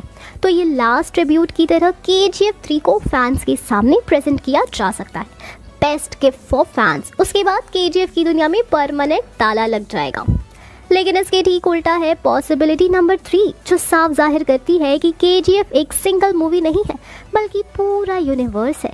मॉन्स्टर यूनिवर्स जिसमें रॉकी तो बस शुरुआत है, अभी तो और बड़े मॉन्स्टर की एंट्री होनी बाकी है। मॉन्स्टर नंबर टू सलार इनकी कहानी को इसलिए जोड़ा जा सकता है के जी एफ़ थ्री से, क्योंकि दोनों फ़िल्मों का थीम सेम टू सेम है। और प्रशांत नील खुद एक इंटरव्यू में सलार को एज अ कमांडर इंट्रोड्यूस कर चुके हैं। क्या पता ये आर्मी फोर्स होल्डर रॉकी भाई का साथ देने आ रही हो? अब आते हैं मॉन्स्टर नंबर थ्री बगीरा ये क्रिमिनल नहीं क्रिमिनल की मौत बनकर एंट्री मारेंगे। बगीरा की टैगलाइन को साफ़ पढ़िए। भाई साहब, जंगल को साफ़ करने आ रहे हैं। बोले तो Rocky plus Salaar plus Bagheera भी देखने को मिल सकता है। अब देखते हैं इन तीनों पॉसिबिलिटीज़ में से कौन सी पॉसिबिलिटी को मेकर्स रखते हैं के चैप्टर थ्री के लिए। के चैप्टर टू की सक्सेस के बाद प्रशांत नील ने बढ़ाई अपनी फ़ीस क्या जल्द रिलीज़ करेंगे? के चैप्टर थ्री आखिर ट्रिपल आर के किस एक्टर के साथ फ़िल्म बनाएँगे? हेलो फ्रेंड्स आप देख रहे हैं बॉलीग्रास स्टूडियोज में सोनिका जयाल। दोस्तों, कन्नड़ इंडस्ट्री के जाने माने फ़िल्म डायरेक्टर प्रशांत नील ने अब तक केवल तीन फ़िल्में डायरेक्ट की हैं। इन तीनों फ़िल्मों में से दो फ़िल्में तो के जी फ्रेंचाइजी हैं। चौदह अप्रैल के दिन ये फ़िल्म रिलीज़ हुई और इसने तहलका मचा दिया। अब तक वर्ल्ड वाइड हज़ार करोड़ की कमाई कर ली है। बॉलीवुड की कई फ़िल्मों को पीछे छोड़ दिया है और कन्नड़ की पहली फ़िल्म बन चुकी है, जिसने हज़ार करोड़ की कमाई का आंकड़ा पार किया। फ़िल्म ने हिंदी बॉक्स ऑफ़िस पर भी कई फ़िल्मों के रिकॉर्ड तोड़े। ऐसे में अब प्रशांत नील ने के चैप्टर टू की ज़बरदस्त सफलता के बाद अपनी फ़ीस भी डबल कर दी है। इस time Prashanth Neel south industry के बड़े स्टार्स के साथ काम करने के लिए तैयार है। साथ ही प्रशांत नील पहले ही तेलुगु के दो टॉप प्रोडक्शन हाउस के साथ काम करने के लिए राज़ी हो चुके हैं। आपको बता दें, प्रशांत नील इन दिनों बाहुबली एक्टर प्रभास के साथ सलार की शूटिंग में बिज़ी हैं। इस फ़िल्म का निर्माण होमले फ़िल्म कर रही है, जिसने के का भी निर्माण किया है। वहीं दोस्तों, पहले प्रशांत नील की फ़ीस हुआ करती थी पच्चीस करोड़ और अब एक फ़िल्म को डायरेक्ट करने के लिए वो पचास करोड़ रुपए चार्ज कर रहे हैं। हैं। इसके अलावा प्रशांत नील एनटीआर के साथ भी एक फ़िल्म बनाने जा रहे हैं। यानी कि के ने प्रशांत नील की किस्मत को बदल डाला और अब लोगों को के जी एफ़ थ्री का इंतज़ार है। आपको बता दें, जब K G F chapter one बन रही थी तो उस टाइम किसी ने ये अंदाज़ा नहीं लगाया था ये इतनी ज़्यादा सुपर हिट होगी। यहाँ तक कि इसको एक ही फ़िल्म में निपटाने की कोशिश की जा रही थी, क्योंकि किसी को नहीं पता था कि पहला पार्ट इतना ज़्यादा सक्सेसफुल होगा। उसके बाद लोगों ने रिस्क लिया और के चैप्टर टू बनाई। उस वक्त भी सबके मन में यही ख्याल आ रहा था कि अगर चैप्टर वन हिट नहीं हुई तो पूरी फ़िल्म, पूरी स्क्रिप्ट वेस्ट हो जाएगी। लेकिन जब K G F chapter one release हुई तो शाहरुख खान, जो कि बॉलीवुड के बादशाह है, उनका ताज भी इस फ़िल्म ने छीन दिया आप तैयार हो जाइए के जी एफ़ चैप्टर थ्री के लिए। क्योंकि के चैप्टर टू में बहुत सारे सवाल छूट चुके हैं, जिसका जवाब आपको मिलेगा के चैप्टर थ्री में। तो दोस्तों, कितना इंतज़ार है इस फ़िल्म का? नीचे कमेंट सेक्शन में बताइए। और इसी तरह के दूसरे अपडेट्स के लिए सब्सक्राइब करिएगा हमारे चैनल बॉलीग्रास स्टूडियोज़ को। चैप्टर टू ने टोटल स्कोर कितना किया? Heropanti two runway thirty four को कड़ी टक्कर के जी एफ़ टू ने आखिर कैसे दी? So hello to my lovely viewers welcome back to your favourite YouTube channel Bollygrad studios this is Riya और आज मैं आप सभी के लिए लाई हूँ एक ऐसी दिलचस्प खबर। तो दोस्तों, अंत तक जुड़े रहिए मेरे साथ। प्रशांत नील निर्देशित K G F chapter two Hindi ने अपने तीसरे सप्ताह में प्रवेश कर लिया है और अभी भी बॉक्स ऑफ़िस पर अच्छी गति का आनंद ले रही है। इस फ्राइडे को दो बड़ी रिलीज़ के बावजूद के जी एफ़ चैप्टर टू ने अपना मज़बूत प्रदर्शन बनाए रखा है। अपने तीसरे शुक्रवार को के चैप्टर टू हिंदी ने अपने कुल में फोर करोड़ रुपए जोड़े, जो अजय देवगन अभिनेता रनवे थर्टी फोर की शुरुआती दिन की संख्या से बेहतर था, जिसने पहले दिन तीन करोड़ रुपए कमाए। के चैप्टर टू हिंदी भी कुछ स्क्रीन पर खो गई, क्योंकि इसे के हीरोपंती टू से बदल दिया गया था, जिसने अपने शुरुआती दिन में 6.5 करोड़ रुपए कमाए। बॉक्स ऑफ़िस इंडिया के अनुसार के चैप्टर टू हिंदी वर्तमान में कुल 345 करोड़ रुपए की कमाई कर चुकी है और 400 करोड़ क्लब में प्रवेश करने के लिए एक लंबा रास्ता तय करना है। फ़िल्म का कलेक्शन आगामी पर ईद की छुट्टी पर टोटल कलेक्ट करना है। फिर ईद की छुट्टी के दिन ही इस फ़िल्म का टोटल कलेक्शन निर्भर करेगा। और के चैप्टर टू में यश संजय दत्त और रवीना टंडन के मुख्य भूमिका में दिखाई दिए थे। बॉलीवुड फ़िल्मों पे हर हिंदी डब्ड में कई दक्षिण फ़िल्मों की सफलता के बारे में बोलते हुए दत्त ने हाल ही में ये ज़ाहिर किया था और ये कहा था कि मुझे लगता है कि हिंदी फ़िल्म उद्योग जीवन से बड़ी वीरता को भूल गया है। लेकिन दक्षिणी उद्योग वीरता को नहीं भूले। मैं ये नहीं कह रहा हूँ कि स्लाइस ऑफ़ लाइफ फ़िल्में या रोम कॉम खराब है। लेकिन हम उत्तर प्रदेश के अपने निर्देशकों को क्यों भूल गए हैं? बिहार, झारखंड, राजस्थान, जो हमारे दर्शकों का एक बड़ा वर्ग मानते हैं, बनाते भी हैं, मुझे उम्मीद है कि हिंदी फ़िल्म उद्योग में यह चलन वापस आएगा। पहले हमारे पास अलग अलग निर्माता और फाइनेंसर थे, जिन्हें फ़िल्म स्टूडियो के निगमीकरण से समाप्त कर दिया है। कॉरपोरेटाइजेशन अच्छा है, लेकिन इससे फ़िल्मों में हमारे स्वाद में कोई बाधा नहीं आनी चाहिए। आपके इसके ऊपर क्या व्यूज़ हैं, ये आप हमें कमेंट सेक्शन पर ज़रूर बताएँ। और हाँ दोस्तों जाते जाते इस वीडियो को लाइक और हमारे चैनल बॉलीग्राज स्टूडियोज़ को ज़रूर सब्सक्राइब कीजिएगा। मिलते हैं फिर एक नई वीडियो और नए कंटेंट के साथ। तब तक खुश रहें और सेफ़ रहें। बने रहिए मेरे साथ। का डब आर्टिस्ट कैसे सेलेक्ट हुआ, वो आर्टिस्ट जिसने डब करी K G F chapter two कब क्रॉस करेगी ये फ़िल्म हज़ार करोड़। के जी एफ़ अब एक बहुत बड़ी फ्रेंचाइजी बन चुकी है। रिसेंटली कुछ सालों से के जी एफ़ चैप्टर टू की बस बहुत ज़्यादा बढ़ गई है। के जी एफ़ चैप्टर वन 2018 में रिलीज़ हुई, जिसमें साउथ के सुपरस्टार यश थे और उनके साथ एक्ट्रेस श्रीनिधि शेट्टी थी। थिएटर में मूवी ने बहुत अच्छा परफॉर्म किया था, जिसकी वजह से मूवी बहुत फ़ेमस हुई। उसके बाद मूवी अमेजोन प्राइम वीडियो में आई और वहाँ बहुत लोगों ने देखी ये फ़िल्म इस मूवी के चैप्टर टू के लिए फैंस ने बहुत वेट किया और जब उन्हें पता चला कि इस मूवी में बॉलीवुड के एक्टर संजय दत्त और एक्ट्रेस रवीना टंडन भी काम कर रही है। तब मूवी की हाइप और बढ़ गई। के मूवी कन्नड़ फ़िल्म इंडस्ट्री की है। कन्नड़ फ़िल्म इंडस्ट्री में ऐसा पहली बार हुआ है कि किसी फ़िल्म ने इतना नाम किया हो। के चैप्टर टू ऑलरेडी बहुत रिकॉर्ड तोड़ चुकी है और कंटिन्यूसली आगे बढ़े जा रही है। बॉक्स ऑफ़िस में पैसे कमाए जा रही है और रिकॉर्ड ब्रेक करे जा रही है। के फ्रेंचाइजी बहुत सक्सेसफुल रही है। चलिए और चीज़ें जानते हैं अब इस फ़िल्म के बारे में। के जी एफ़ चैप्टर टू के हिंदी वर्जन में फैंस को यश की आवाज़ और यश के डायलॉग्स बहुत पसंद आए थे। बट एक्चुअल में वो वॉइस यश की नहीं थी और वो आवाज़ मुंबई के सचिन गोले की थी। सचिन गोले ने पहले काफ़ी मूवीज़ के लिए डब किया हुआ है और काफ़ी अलग अलग एक्टर्स की आवाज़ भी डब करी है, जैसे धनुष, किच्चा सुदीप और रजनीकांत की पुरानी फ़िल्मों के लिए। मूवी में एक वॉयलेंस वॉयलेंस करके एक बड़ा डायलॉग था जो फैंस को बहुत पसंद आया है। सचिन गोले ने रिवील किया है कि इस डायलॉग के लिए उन्हें 15 से लेकर 20 बार टेक्स लेने पड़े इस डायलॉग को परफेक्टली डिलीवर करने के लिए। साथ ही में ये भी पता चला है कि सचिन गोले को खुद फ़िल्म के स्टार यश ने पिक किया था और पहला ऐसा डिसाइड नहीं था कि फ़िल्म हिंदी में भी डब होगी। बट बाहुबली को देखकर केजीएफ की टीम ने भी डिसाइड किया था कि ये फ़िल्म हिंदी में डब होगी और फ्रेंचाइजी को यश के लिए ऐसी आवाज़ चाहिए थी जो ज़्यादा पतली या ज़्यादा हैवी ना हो। और ऐसा आर्टिस्ट हो जिसकी वॉइस में वो मुंबई का एसेंट हो। सचिन गोले ने पहले भी यश की फिल्म्स के लिए डब किया हुआ है और जब फ्रेंचाइजी ने सचिन गोले की आवाज़ सुनी, उन्होंने सचिन गोले को ही सिलेक्ट कर लिया। के जी एफ़ चैप्टर टू बहुत अच्छे रन पर है और मूवी फोर्टीन अप्रैल को रिलीज़ हुई थी। छब्बीस अप्रैल तक इस फ़िल्म ने 900 करोड़ कमा लिए थे। World wide box office collection से और ऐसा एस्टिमेटेड है कि इस वीक के एंड तक फ़िल्म हज़ार करोड़ क्रॉस कर लेगी। और उन अलाइड फिल्म्स जैसे दंगल, बाहुबली 2 और आरआरआर के साथ लिस्ट में आएगी। क्या K G F chapter two ने फाइनली हज़ार करोड़ क्लब में एंट्री आखिर अब बॉलीवुड की किन फ़िल्मों से है लोगों को ऐसी उम्मीदें? हेलो फ्रेंड्स आप देख रहे हैं बॉलीग्राफ स्टूडियोज में सोनिका जयाल। दोस्तों के जी एफ़ फैंस को जिस घड़ी का इंतज़ार था, आखिरकार वो आ गई है और फाइनली के जी एफ़ चैप्टर टू ने हज़ार करोड़ी क्लब में एंट्री मार ली है। और रॉकी भाई ने सही ही कहा था the world is my territory तो भाई को सलाम करने का मौका आ चुका है। 18 दिनों में 1023 करोड़ की बम्पर कमाई कर ली है फ़िल्म ने। इसी के साथ जहाँ वर्ल्ड वाइड हज़ार करोड़ी क्लब में शामिल होने वाली ये चौथी इंडियन फ़िल्म बन गई है, वहीं ये पहली कन्नड़ फ़िल्म होगी जिसने ये मुकाम हासिल किया। रविवार को हिंदी से लेकर कन्नड़ तक के चैप्टर टू की कमाई में 20 से 25 परसेंट की बढ़ोतरी हुई थी। अठारहवें दिन, यानी कि रविवार को, इसने वर्ल्ड वाइड 27 करोड़ का कलेक्शन किया। सिर्फ़ हिंदी वर्जन में इस फ़िल्म ने 360 करोड़ की कमाई कर ली।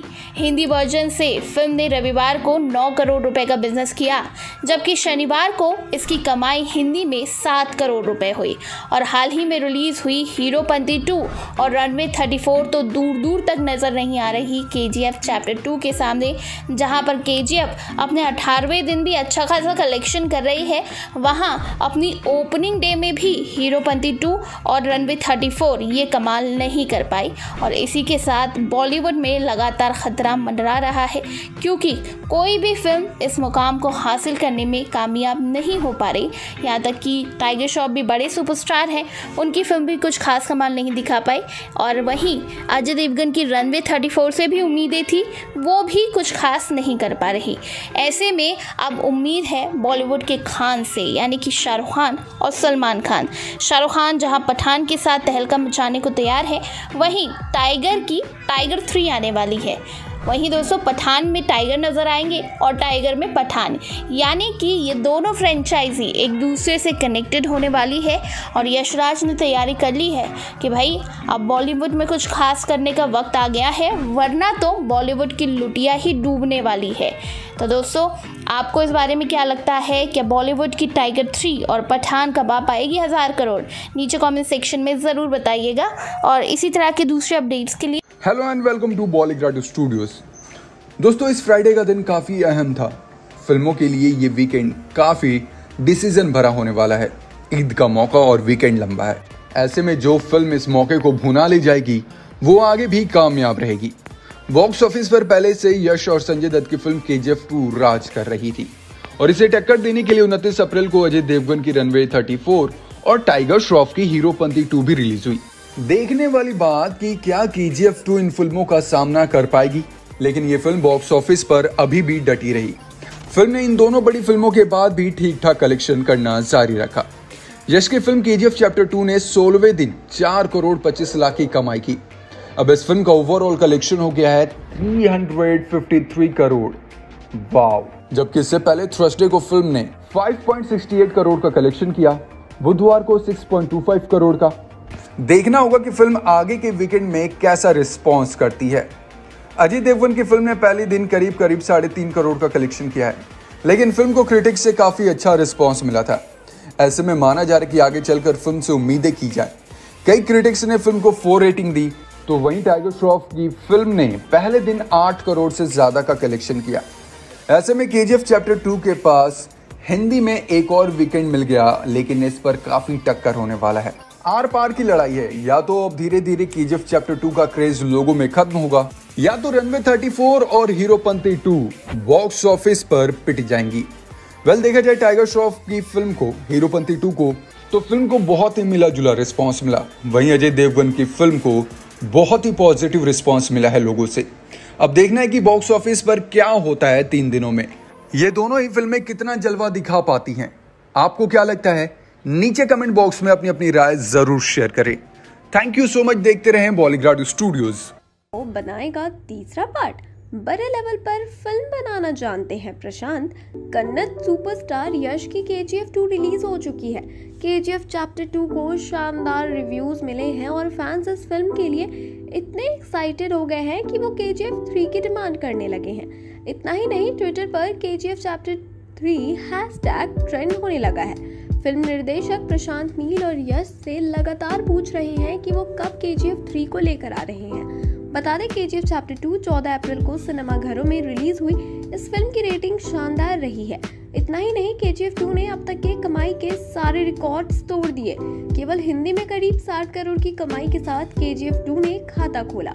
वहीं देश भर के कलेक्शन से इस फ़िल्म ने 100 करोड़ के पार का बिज़नेस कर लिया है। अब फैंस इस फ्रेंचाइजी के तीसरे पार्ट का बेसब्री से इंतज़ार कर रहे हैं। आपको बता दें, प्रशांत नील ने अपनी फ़िल्मों से ये तो प्रूव कर दिया कि वो एक अच्छी कहानी को बड़े पर्दे पर दिखाना बखूबी जानते हैं। और साथ ही उन्होंने ये भी दिखा दिया कि वो अपनी फ़िल्मों को बड़े लेवल पर भी बनाना जानते हैं। अब जिस फ्रेंचाइजी के दो हिस्सों ने देश भर में ऐसा तहलका मचाया है, उस फ़िल्म के तीसरे हिस्से से भी लोग यही उम्मीद कर रहे हैं। और इसलिए फैंस भी उनसे उम्मीद लगा के बैठे हैं कि इस बार फिर से धमाल हो जाए कुछ। आपको बता दें के जी फ्रेंचाइजी प्रशांत नील का ड्रीम प्रोजेक्ट था और इसलिए भी वो इस फ़िल्म से बहुत लगाव रखते हैं और इस फ़िल्म का तीसरा भाग बनाना चाहते हैं। सोशल मीडिया यूज़र्स का दावा है कि फ़िल्म का तीसरा पार्ट भी रिलीज़ होगा और हो सकता है कि इसके तीसरे हिस्से के लिए हमें कम इंतज़ार करना पड़े, क्योंकि एक साल की देरी से रिलीज़ होने के समय क्या पता इस फ़िल्म के तीसरे हिस्से की तैयारी शुरू हो चुकी है। आपको बता दें K G F to film को काफ़ी बड़े लेवल पर बनाया गया था तो ज़ाहिर सी बात है, इस फ़िल्म के तीसरे हिस्से को और भी ग्रैंड लेवल पर बनाया जाएगा। तो आप कितने एक्साइटेड हैं इस फ़िल्म को देखने के लिए कमेंट कर कर ज़रूर बताएँ। फिर मिलेंगे एक नई वीडियो के साथ। बारे में है संजय दत्त का कैरेक्टर अधीरा के किरदार को कितनी शक्तियाँ मिलेंगी? क्या गब्बर की पदवी अधीरा छीनने को तैयार है? संजय दत्त 60 साल का man child bad boy of Bollywood और तमाम तरह के नाम। 2018 के दिसंबर में एक फ़िल्म आई थी केजीएस इसका फुल फॉर्म हुआ Kolar gold fields. Kannada cinema इतिहास की सबसे सफल फ़िल्म जिसकी all time world wide collection 250 crore के पार थी। फिर हिंदी में डब होकर रिलीज़ होने वाली फ़िल्मों में बाहुबली फ्रेंचाइजी और 2.0 के बाद तीसरी सबसे ज़्यादा कमाई करने वाली फ़िल्म बनी। इंटरेस्टिंग बात यह थी कि ये सारी अचीवमेंट कहानी के एक टुकड़े को मिली है, लेकिन पिक्चर अभी बाकी है मेरे दोस्त। जिस फ़िल्म में बीच हुई कहानी दिखाई जाएगी, उसके नाम के जी एफ़ चैप्टर टू अब बात आती है। इस सबसे संजय दत्त के कनेक्शन की। तो ये हम जानते हैं कि संजय फ़िल्म में अधीरा का किरदार करने वाले हैं। लेकिन अब बात आती है, जब के में अधीरा था ही नहीं तो ये कहाँ से जन्मा?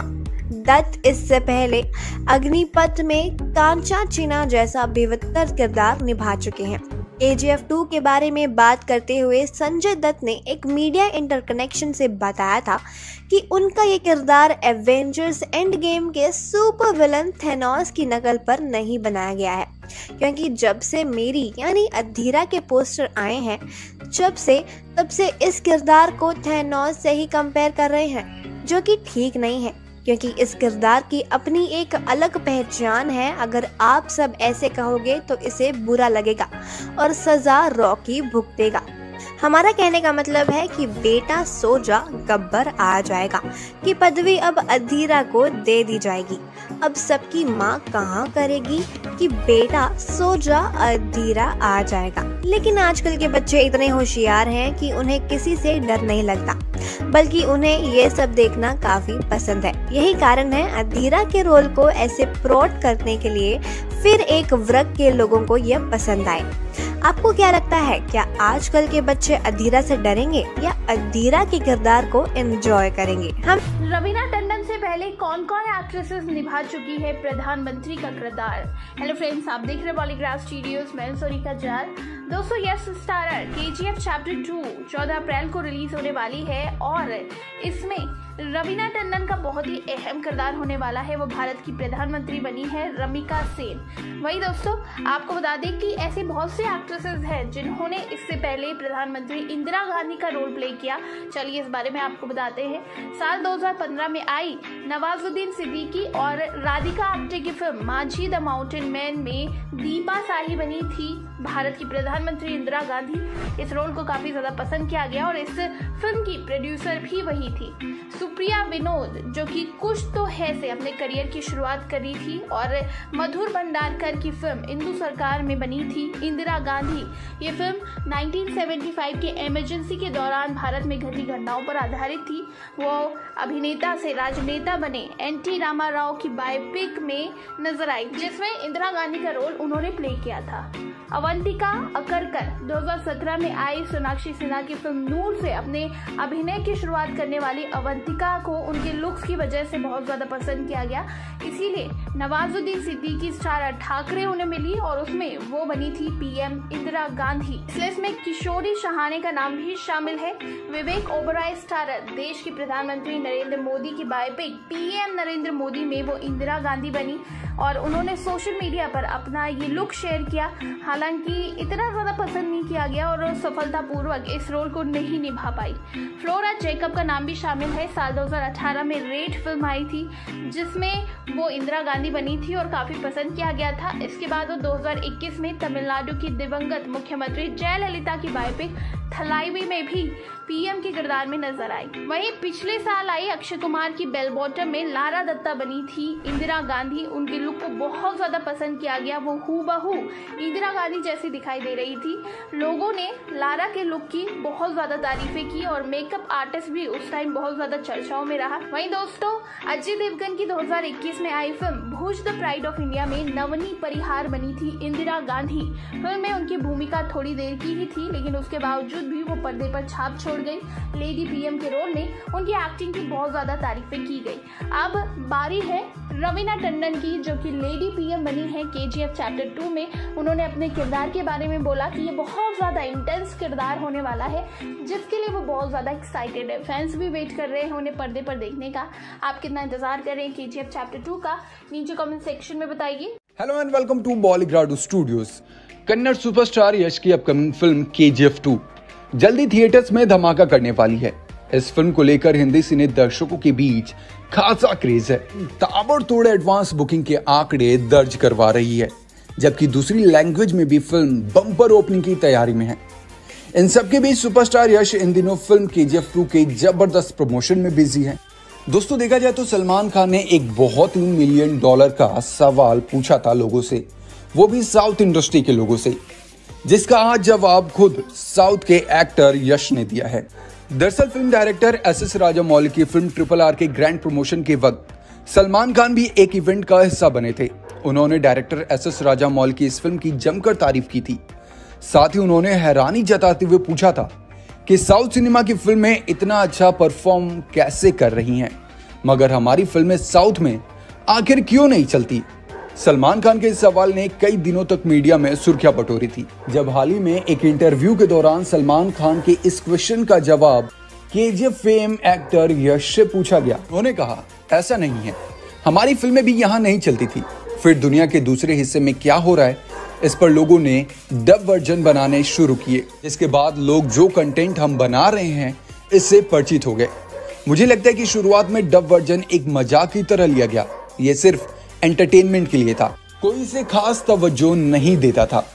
मगर इससे लोग हमारी फ़िल्मों, हमारे कंटेंट से फैमिलियर हो गए। ये सब रातों रात नहीं हुआ। इसके पीछे एक कड़ी मेहनत लगी।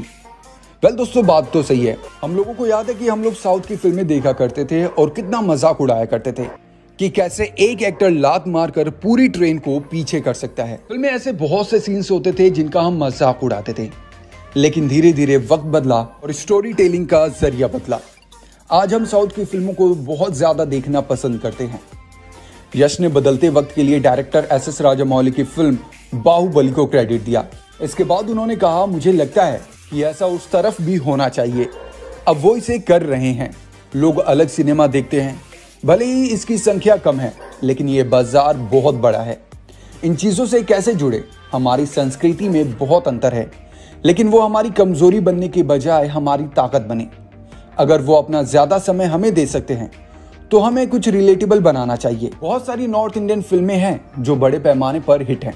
हमने बॉलीवुड स्टार्स की बहुत सारी फ़िल्में देखी है। हम सभी उन्हें प्यार करते हैं, लेकिन बाज़ार की संभावनाएँ क्या है?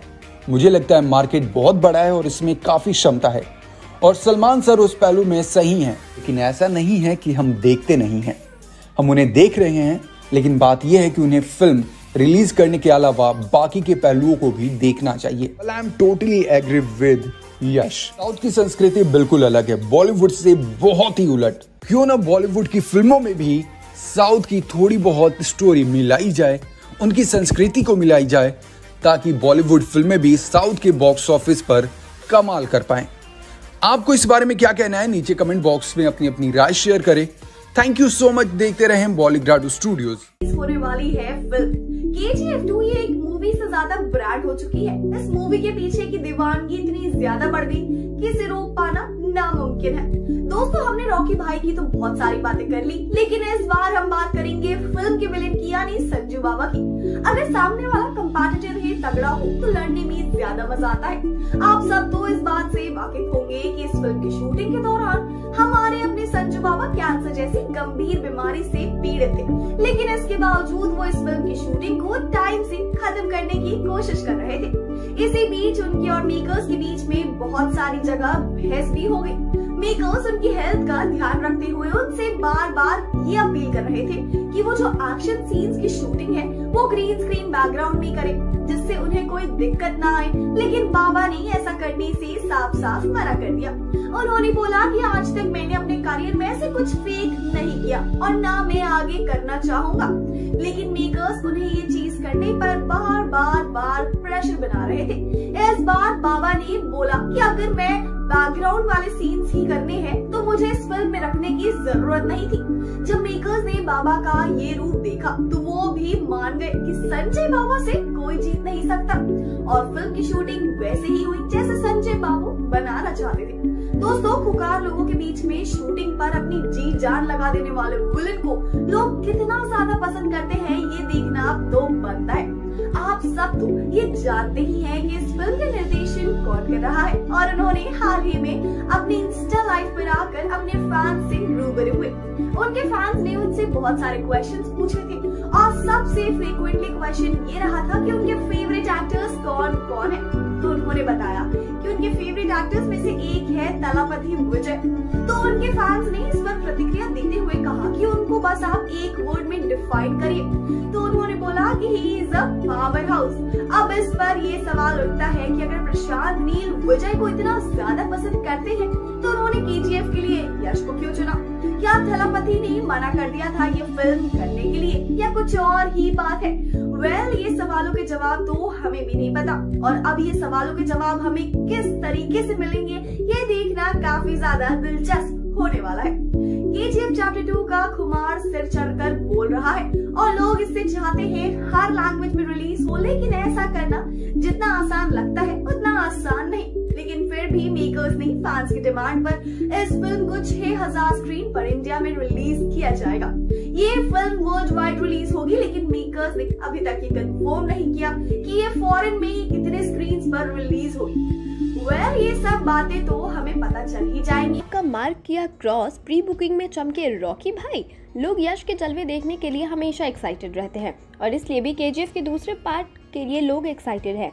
के फ़िल्म ने यश के फिल्मी करियर को नई ऊंचाइयों तक पहुँचा दिया। यश फैंस के बीच रॉकिंग स्टार के नाम से भी काफ़ी पॉपुलर हैं। यश का असली नाम नवीन कुमार गौरा है। उन्होंने बहुत कम समय में ही कन्नड़ सिनेमा में अपनी पहचान बना ली है। हालाँकि यश को सबसे ज़्यादा पॉपुलैरिटी मिली उनकी फ़िल्म के चैप्टर वन से। इस फ़िल्म को भारत के साथ साथ विदेशों में भी काफ़ी पसंद किया गया था। यश के बारे में बहुत कम लोग जानते हैं कि वो मिडिल क्लास फैमिली से संबंध रखते हैं और उनके पिता बस ड्राइवर के रूप में काम करते थे। मैसूर में अपनी पढ़ाई पूरी करने के बाद यश बैंगलोर अपने एक्टिंग ड्रीम को पूरा करने आए। उन्होंने अपने करियर की शुरुआत नंदा गोकुला नाम के कन्नड़ टीवी सीरियल से की थी। के जी एफ़ टू को लेकर यश के फैंस बहुत एक्साइटेड हैं और के जी एफ़ चैप्टर टू इस समय देश की मोस्ट अवेटेड फ़िल्म है। रॉकी भाई के रूप में यश ये फ़िल्म अपने के साथ बॉक्स ऑफ़िस पर भारी सफलता के साथ चर्चा में है। लगता है सीक्वल बहुत बड़ा होने वाला है। 2018 में के जी एफ़ के पहले भाग ने कुछ बड़ी नंबर में रैंकिंग करके देश में धूम मचा दी। अब अच्छे सीक्वल के साथ के जी एफ़ टू ने एक बड़ी बस कायम की है। और अब ये मोस्ट अवेटेड फ़िल्म अपनी रिलीज़ की तारीख से कुछ ही दिन दूर है। हाल ही में के जी चैप्टर टू की प्री बुकिंग शुरू हुई थी। दर्शकों के बीच फ़िल्म को लेकर हाइप नंबर्स में दिख रहा है क्योंकि अकेले हिंदी वर्जन में इम्प्रेसिव नंबर है। के जी टू ने करीब 1.07 लाख टिकट बेचे हैं और वो भी 12 घंटे के भीतर और उम्मीद की जा रही है तीन करोड़ टिकट्स बेची जाएँगी। आपको बता दें कि के फ़िल्म को काफ़ी बड़े लेवल पर बनाया गया है तो ज़ाहिर सी बात है इस फ़िल्म के सीक्वल को और भी ग्रैंड लेवल पर बनाया जाएगा। इस फ़िल्म के लिए लोगों के बीच भी भारी एक्साइटमेंट और जोश देखने को मिल रहा है। क्या होती है कैरेक्टर्स को अलग नाम देने की वजह? क्या है अधीरा का मतलब? राइटर्स कैसे डेवलप करता है कैरेक्टर्स हेलो दोस्तों, मैं नितिन। आपका स्वागत करता हूँ बॉलीग्रेड स्टूडियोज के फिल्मी गलियारे में। बंटी बबली, चिंटू मिंटू, लारा डोरा, फलाना ढिमकाना। इसमें से आपका नाम है क्या? लेकिन आपका नाम क्यों रखा गया? क्यों आपके कजिन और आपका नाम अलग अलग है? सोचो। सोचो, क्योंकि नाम हर इंसान की अपनी पहचान होता है। उसके नाम से ही लोग उसे बुलाते हैं, इसीलिए हम सब एक खास नाम और एक अलग आइडेंटिटी से पहचाने जाते हैं। ऐसे ही होता है फ़िल्मों में कैरेक्टर्स के नाम के साथ। क्या आपने सोचा है कि क्यों हर फ़िल्म, हर वेब सीरीज़ में हर कैरेक्टर का नाम अलग होता है? एक फ़िल्म में अलग अलग किरदार होते हैं और सबका अलग अलग नाम क्यों? तो आपको बता दें कि जब भी राइटर कोई कहानी लिखता है तो उसके दिमाग में वो कहानी का स्क्रीन की तरह प्ले होती रहती है। या यूँ कहें कि एक राइटर उस कहानी को फील करने लगता है। जब वो किसी कहानी को फील करता है तो उसके दिमाग में उस कहानी के कैरेक्टर्स अपने आप ही डेवलप हो जाते हैं। जैसे कोई पान वाला चाय वाला है, उसका नाम प्रोबेबली फ़िल्मों और नाटकों में राजू, शामू, यही सब होते हैं। क्योंकि चाय वाले पान वाले स्वीट होते हैं, उन्हें कहा किसी से हथियार लेकर लड़ने जाना होता है। इसी तरह फ़िल्मों के हर कैरेक्टर को उसकी क्वालिटीज के हिसाब से नाम दिया जाता है। जैसे कोई बहुत शक्तिशाली है, फ़िल्म का सीरियस विलन है तो उसे मोगैम्बो, शेरा आदि नाम दिए जाते हैं। वैसे ही एक नाम अभी काफ़ी सोशल मीडिया पर चल रहा है, जो है अधीरा। सुनने में ऐसा लग रहा है, मानो कोई भारी भरकम इंसान जो काफ़ी शक्तिशाली है। जी हाँ आपने सही सोचा। यही नाम है के जी में आने वाली विलन का। जो आजकल अपने खूंखार अंदाज कूल लुक और शक्तिशाली शख्सियत के लिए जाना जाता है। लेकिन शायद आपने ये नहीं सोचा होगा कि इस खूंखार लुक का अधीरा नाम कैसे रखा गया। तो आपको बता दें कि अधीरा के नाम का मतलब है एक मज़बूत और बड़ी शख्सियत। अधीरा का किरदार फ़िल्म में काफ़ी मज़बूत है और साथ ही शक्तिशाली भी, जो आपको ट्रेलर देखकर अंदाज़ा भी हो गया होगा। जब अधीरा कहता है, कह दो, मैं आ रहा हूँ अपनी केजीएफ लेने। उसकी शक्ति उसकी दमदार आवाज़ में नज़र आ रही थी।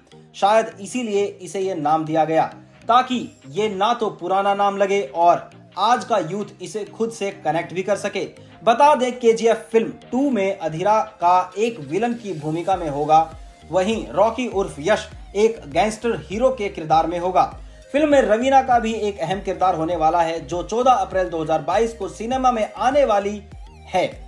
वरुण तेज की फ़िल्म को झेलना होगा भारी नुकसान। कौन सी साउथ फ़िल्म में जल्द आने वाली है फैंस की एंटरटेनमेंट के लिए? दोस्तों बॉलीवुड स्टूडियोज में आपका स्वागत है। आज हम बात करने वाले हैं, इस साल आने वाली most awaited film KGF chapter two के बारे में। फ़िल्म की रिलीज़ और उसके साथ आने वाली दूसरी फ़िल्मों के बारे में। तो चलिए शुरू करते हैं आज का वीडियो जैसा कि हम सब जानते हैं कि केजीएफ चैप्टर टू साल 14 अप्रैल पर आने वाली है, और अब तो कुछ ही दिनों में फ़िल्म का ट्रेलर भी रिलीज़ होने वाला है। और सभी इस फ़िल्म के लिए काफ़ी एक्साइटेड है। वहीं यश की केजीएफ चैप्टर टू के साथ विजय, थलापति और पूजा हेगड़े की डार्क एक्शन कॉमेडी और थ्रिलर फ़िल्म बीस्ट भी रिलीज़ होने वाली है। दिलचस्प बात यह है कि दोनों ही फ़िल्म में सेम स्टाइल की और दोनों में ही तगड़ा एक्शन दिखने वाला है। साथ ही यश और विजय दोनों ही south superstar with loyal fans हैं। दोनों का क्लैश होने वाला है। खबर यह है कि सुपर क्लैश से बचने के लिए और फैंस को एक फेयर चॉइस देने के लिए दोनों में से एक फ़िल्म एक वीक प्री पॉइंट हो सकती है। और अगर ऐसा होता है तो वरुण तेज की घनी, जो 8 अप्रैल को रिलीज़ होने वाली है, उसे क्लैश झेलना पड़ सकता है। आपको यह भी बता दें कि तेलुगु फ़िल्म घनी बहुत बार पहले भी पोस्टपोन हो चुकी है। अगर बीस्ट पहले रिलीज़ होती है तो घनी को इतना ज़्यादा फ़र्क नहीं पड़ने वाला है। लेकिन केजीएफ चैप्टर टू प्रीपोन होती है तो फ़िल्म को क्लैश के साथ साथ नुकसान भी हो सकता है। फ़िलहाल तो मेकर्स कॉन्फिडेंट है और शायद इसलिए वो केजीएफ चैप्टर टू जैसी बड़ी फ़िल्म को टेक ऑन करने के लिए भी रेडी है। दोस्तों, साल 2022 फ़िल्म इंडस्ट्री के लिए एक टर्निंग पॉइंट साबित हो सकता है। इस साल थिएटर्स पूरी तरह से ओपन हुए हैं और साथ ही बड़े स्टार्स की बिग बजट फ़िल्में रिलीज़ होने जा रही है। और ज़्यादातर फ़िल्में साउथ की हैं। पुष्पा के बाद हाल ही में रिलीज़ हुई पवन कल्याण, राणा दग्गुबाती के भीमला नायक और अजीत कुमार की। बली में रिलीज़ हुई और दोनों ने ही ऑडियंस को काफ़ी इम्प्रेस किया हुआ है। और साथ ही मार्च में प्रभास की राधे श्याम, रामचरण और जूनियर एनटीआर के ट्रिपल आर जैसी बड़ी फ़िल्में रिलीज़ होने वाली है। और उसके बाद अप्रैल में यस की KGF chapter two Vijay starrer Beast Prabhas की सालार आरसी फिफ्टीन जैसी फ़िल्में वन बाय वन रिलीज़ होने वाली है। साथ ही केजीएफ चैप्टर वन की धमाकेदार परफॉर्मेंस के बाद प्रशांत नील और यश से काफ़ी उम्मीदें हैं फैंस को। साथ ही बॉलीवुड स्टार्स संजय दत्त और रवीना टंडन की फ़िल्म में एंट्री ने फ़िल्म का बस बढ़ाया हुआ है। केजीएफ चैप्टर टू ने फ़िल्म मार्केट में एक ऐसी रेपुटेशन बना ली है कि फ़िल्म के प्रीपोन या पोस्टपोन होने से इस फ़िल्म को कोई फ़र्क नहीं पड़ने वाला है, लेकिन इस फ़िल्म के साथ रिलीज़ होने वाली बाकी की फिल्म्स को ज़रूर फ़र्क पड़ेगा। तो दोस्तों, आप इस साल आने वाली कौन सी फ़िल्म के लिए एक्साइटेड हैं, हमें कमेंट बॉक्स में ज़रूर बताइएगा। उम्मीद है आपको आज की ये वीडियो पसंद आई होगी। ऐसी ही वीडियोस को देखते रहने के लिए चैनल को सब्सक्राइब करना ना भूलिएगा। वापसी। यश के लिए नहीं तो किसके लिए आएगा अधीरा? क्या हो सकता है? फिर से गरुड़ा का राज। हेलो दोस्तों, मैं नितिन आपका स्वागत करता हूँ बॉलीग्रेड स्टूडियोज में। दक्षिण भारतीय हिट फ़िल्मों की जब भी बात की जाएगी तो के जी का नाम ज़रूर आएगा। साउथ के फ़ेमस हीरो यश ने रॉकी भाई के किरदार निभाकर कई रिकॉर्ड्स को तोड़ा है, लेकिन इस फ़िल्म में यश के अलावा अगर किसी और ने सबसे ज़्यादा सुर्खियाँ बटोरी हैं तो वो है के का विलन खतरनाक लुक से गरुड़ा ने सबका दिल जीत लिया है, लेकिन आपको जानकर हैरानी होगी कि गरुड़ा का रोल निभाने वाले राजू असल ज़िंदगी में एक बॉडीगार्ड थे। साउथ के स्टार यश की के जी चैप्टर टू जल्द ही रिलीज़ होने वाली है। फ़िल्म को लेकर शुरुआत से ही काफ़ी बज बना रहा है और अब फ़िल्म के पहले पार्ट में विलन रहे गरुड़ा सबको याद आ रहे हैं। गरुड़ा, यानी कि रामचंद्र राजू ने 2018 में के चैप्टर वन से ही अपने करियर की शुरुआत की। पहली ही फ़िल्म में उन्होंने विलन का रोल ऐसे दमदार तरीके से निभाया कि लोग कायल हो गए। आपको जानकर हैरानी होगी कि रामचंद्र एक्टिंग की दुनिया में एंट्री लेने से पहले बतौर बॉडीगार्ड काम कर रहे थे। रामचंद्र अपनी पहली फ़िल्म के हीरो, यानी कि यश के बॉडीगार्ड थे। फ़िल्म में रामचंद्र की परफॉर्मेंस देखकर कोई कह नहीं सकता कि ये उनकी पहली फ़िल्म थी, और उनका फिल्मी दुनिया से कोई लेना देना नहीं था। उनकी परफॉर्मेंस इतनी ज़्यादा दमदार थी कि लोगों ने उन्हें खूब पसंद किया। रामचंद्र राजू ने कभी सपने में भी नहीं सोचा होगा कि वो एक्टर बनेंगे, लेकिन असलियत कभी कभी सपने से हसीन होती है। फ़िल्मों में आना भी उनके लिए एक इत्तेफाक ही था। दरअसल के के राइटर स्क्रिप्ट डिस्कस करने के लिए यश के पास पहुँचे थे। यहाँ उन्होंने रामचंद्र को देखा और उन्हें देखते ही गरुड़ा के किरदार में फिट कर दिया। राइटर ने रामचंद्र को एक बार ऑडिशन देने को कहा और फिर उनका रोल पक्का हो गया। लेकिन लेकिन, ट्विस्ट ये नहीं है। ट्विस्ट ये है कि जो गरुड़ा सबको लगता है कि मर गया, लेकिन वो मरा ही नहीं हो तो? जी हाँ गरुड़ा की वापसी हो रही है के जी में। लेकिन के जी एफ़ टू के राजा के रूप में नहीं, बल्कि वहाँ के दास और गुलाम के रूप में। अब गरुड़ा अपनी ही सोने की खान में काम करेगा और वही अनुभव लेगा जो वो लोगों को आज तक देता रहा था, ताकि उसको भी पता चल सके कि इंसान की जान कितनी कीमती होती है। इसीलिए अधीरा की एंट्री होगी, जो अपने भतीजे को छुड़ाने आएगा, लेकिन खुद ही राजनीति कर जाएगा। और इसके भैया कहते हैं कि इसे राजनीति नहीं आती तो आपको क्या लगता है? क्या गरुड़ा की होगी वापसी? हमें कमेंट में ज़रूर बताएँ। की कौन सी है वो किरदार, जिसके डायलॉग ने पूरी मूवी को पलट दिया था? Hello friends welcome back to your favourite YouTube channel Polygraph studios मैं अपर्णा सिन्हा, आज आपके लिए लेकर आई हूँ केजीएफ चैप्टर टू से जुड़ी कई सारी। जी हाँ दर्शकों, कई सारी इंटरेस्टिंग बातें। तो इस वीडियो को एंड तक ज़रूर से ज़रूर देखिएगा। अगर तुम्हारे अंदर हिम्मत है और हज़ार लोग तुम्हारे पीछे खड़े हैं तो तुम सिर्फ़ जंग जीतोगे। लेकिन अगर हज़ार लोगों ने हिम्मत जुटा ली और तुम सामने खड़े हो तो तुम पूरी दुनिया जीत लोगे। के की कहानी शुरू एक छोटे से बच्चे से हुई थी।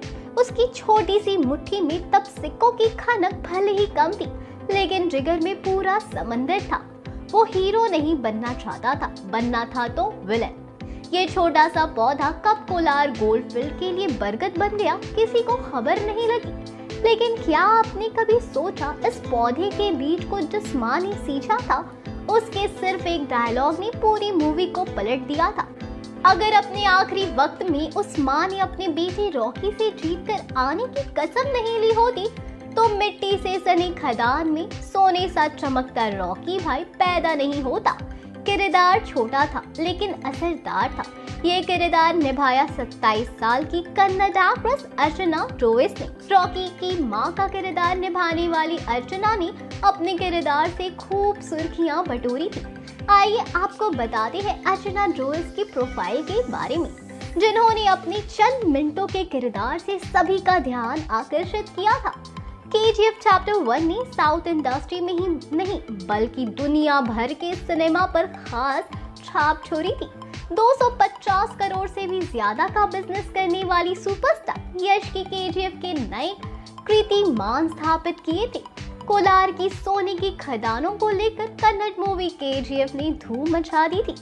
केजीएफ की कहानी, किरदार मूवी का केंद्र से लेकर हर कलाकार खूब लोकप्रिय हुआ था। अब मूवी के दूसरे पार्ट की बात करें तो बाहुबली फ्रेंचाइजी के बाद actor Yash starrer movie KGF chapter two निश्चित रूप से इस साल रिलीज़ होने वाली सबसे most awaited pan India sequel में से एक है। एक्शन से भरपूर ड्रामा केजीएफ चैप्टर टू को देखने के लिए दर्शकों का उत्साह काफ़ी बढ़ गया है।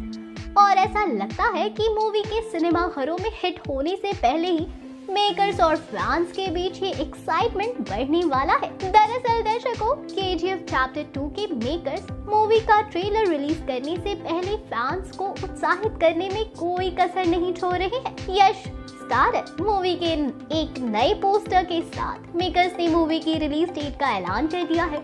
जिसके अनुसार मूवी 14 अप्रैल 2022 को रिलीज़ होगी और इसका ट्रेलर रिलीज़ होगा 27 मार्च 2022 को। यश की upcoming movie K G F chapter two chapter one से कितनी अलग होगी? या संजय दत्त का किरदार पड़ेगा यश पर भारी। या रवीना टंडन का किरदार पलट देगा पासा। इतिहास हमें बताता है कि ताकतवर लोग ताकतवर जगहों से आते दोस्तों, इतिहास गलत था।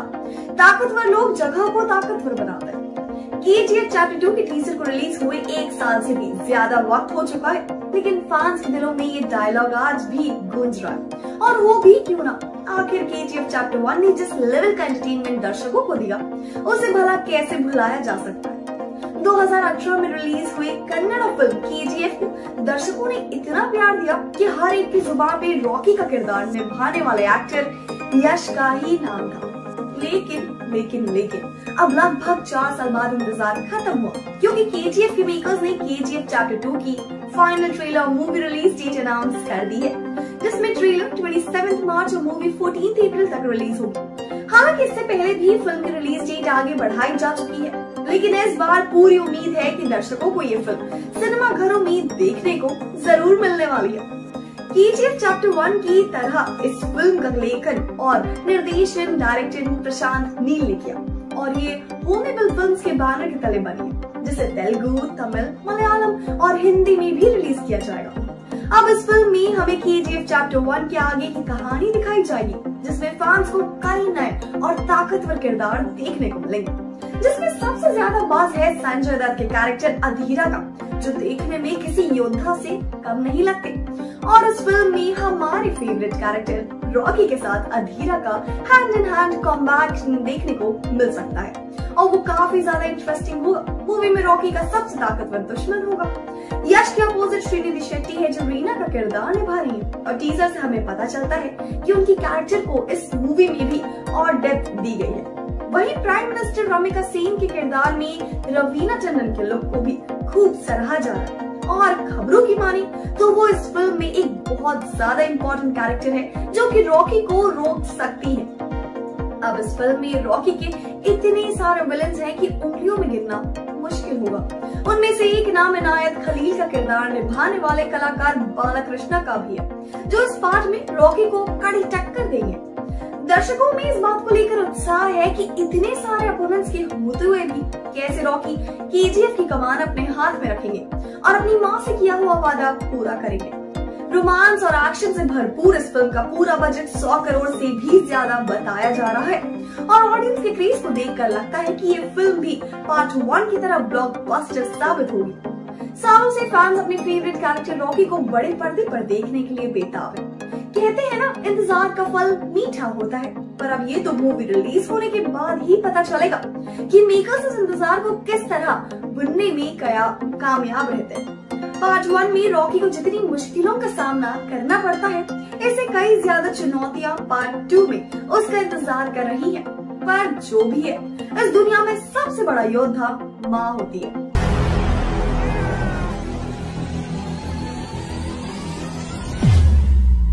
क्या अच्युत कुमार की थी के पहली हिट फ़िल्म क्यों अच्युत कुमार को है ये फ़िल्म पसंद?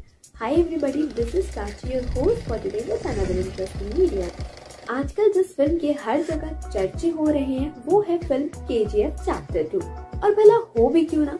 क्योंकि इसकी पहली पार्ट लोगों को इतनी पसंद आई, उसकी कहानी भी लोगों को बहुत ज़्यादा पसंद आई, और इसलिए लोग अब इंतज़ार कर रहे हैं तो बस के चैप्टर टू का। वैसे इस फ़िल्म में भी आपको वो हर एक कैरेक्टर दिखाई देगा जिसकी वजह से ये फ़िल्म हिट साबित हुई थी।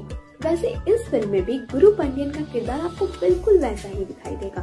जो बदलाव देखने को मिलेगा, वो ये हो सकता है कि उनका कैरेक्टर बीच में ही खत्म हो जाए, या यूँ कह ले कि उनकी मौत हो जाएगी। अब ऐसा करना तो फ़िल्म की कहानी की डिमांड है और ऐसा बिल्कुल भी नहीं होगा कि उनके कैरेक्टर की पावर खत्म हो जाएगी। अब खत्म होगा भी कैसे? क्योंकि उनके किरदार को उसी तरह देखेंगे जैसे के जी चैप्टर वन में हमने देखा था।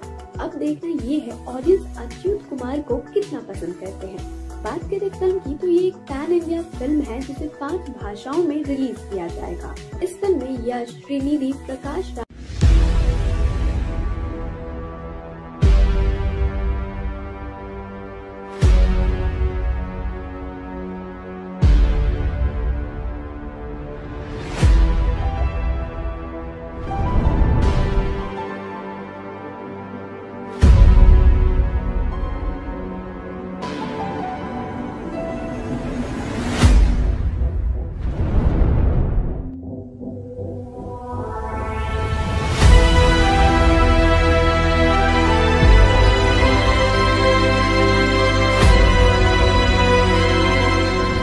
क्यों गए थे यश उडुपी। कहाँ खेला यश ने क्रिकेट? कहाँ है उडुपी जिला? किस स्टूडियो में बना है के जी एफ़ टू का संगीत?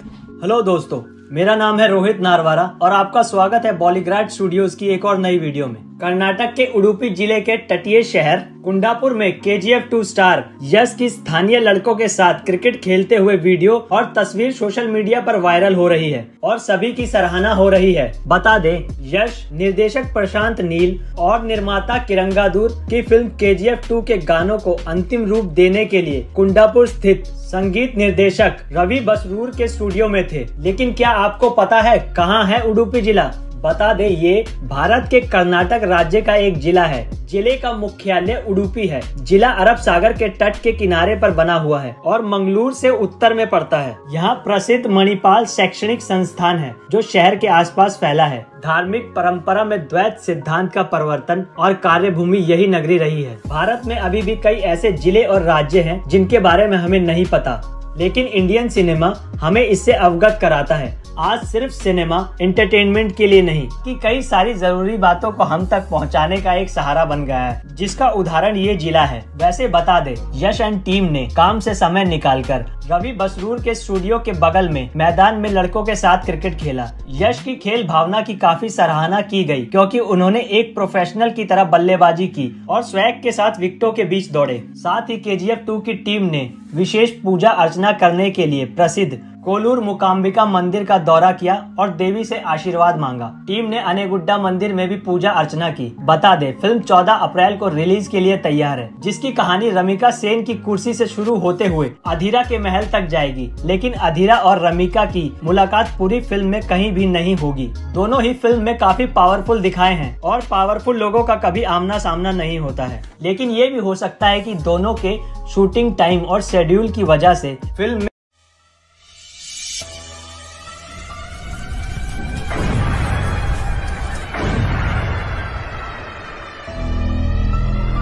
कुछ लोग ऐसे होते हैं जो बेवक्त मौत को भी बदल देते हैं। इतना खून देख के लगता है इसे बड़ी बेरहमी से मारा है। सर, सर ये खून उसका नहीं हमारे लोगों का किस फ़िल्म से क्लैश होते होते बच गई? क्या कनेक्शन है संजय दत्त का रॉकी नाम से? क्या अब नहीं चलेगा नौरा का जादू? नमस्कार दोस्तों, एक बार फिर से आप सभी का स्वागत है बॉलीग्राड स्टूडियोज में और मैं हूँ आपके साथ अनुष्का त्यागी। यश कन्नड़ के सुपरस्टार तो हैं ही, पर अब देश की शान बन चुके हैं और ये सब उनकी मेहनत और ऑडियंस के प्यार का नतीजा है। दोस्तों 2004 से उन्होंने एक कन्नड़ सीरियल से अपना सफ़र शुरू किया और आज वो के स्टार के नाम से बुलाए जाते हैं। दोस्तों, सब तरफ़ उनका क्रेज बढ़ता ही जा रहा है, बढ़ता ही जा रहा है। दर्शक तो उनकी एक झलक देखकर ही पागल हो रहे हैं। उनकी film K G chapter one ने तो ज़बरदस्त धमाका कर ही दिया है। पर अब फिर से एक बार पार्ट के साथ वो हाजिर होंगे दर्शकों के सामने। वैसे आपको एक बात बताए, दरअसल दोस्तों रॉकी नाम के साथ संजय का एक पुराना रिश्ता है। कह सकते हैं ये नाम उनके लिए काफ़ी लकी भी है। अब आप सोच रहे होंगे कि कैसे?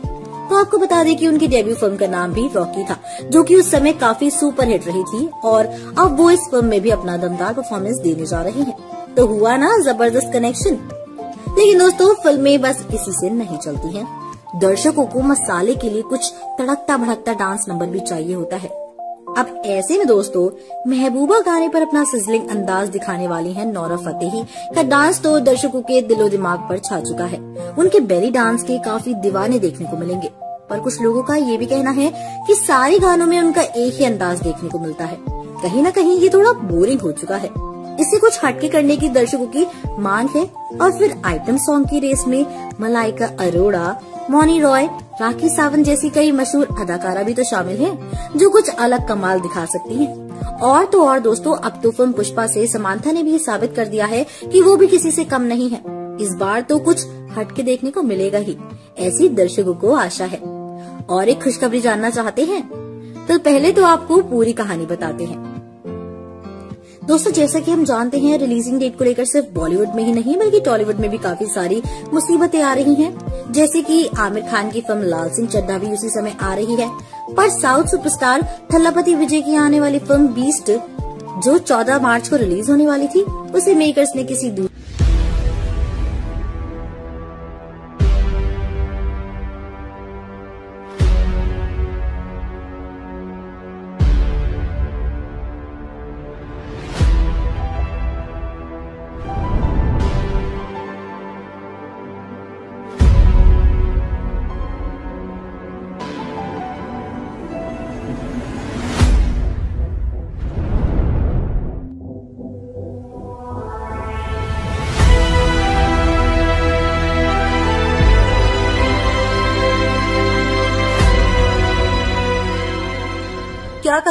के भाई फैसल खान ने फ़िल्मों के क्लासेस के ऊपर। किसको दी पुनीत राजकुमार ने बधाइयाँ?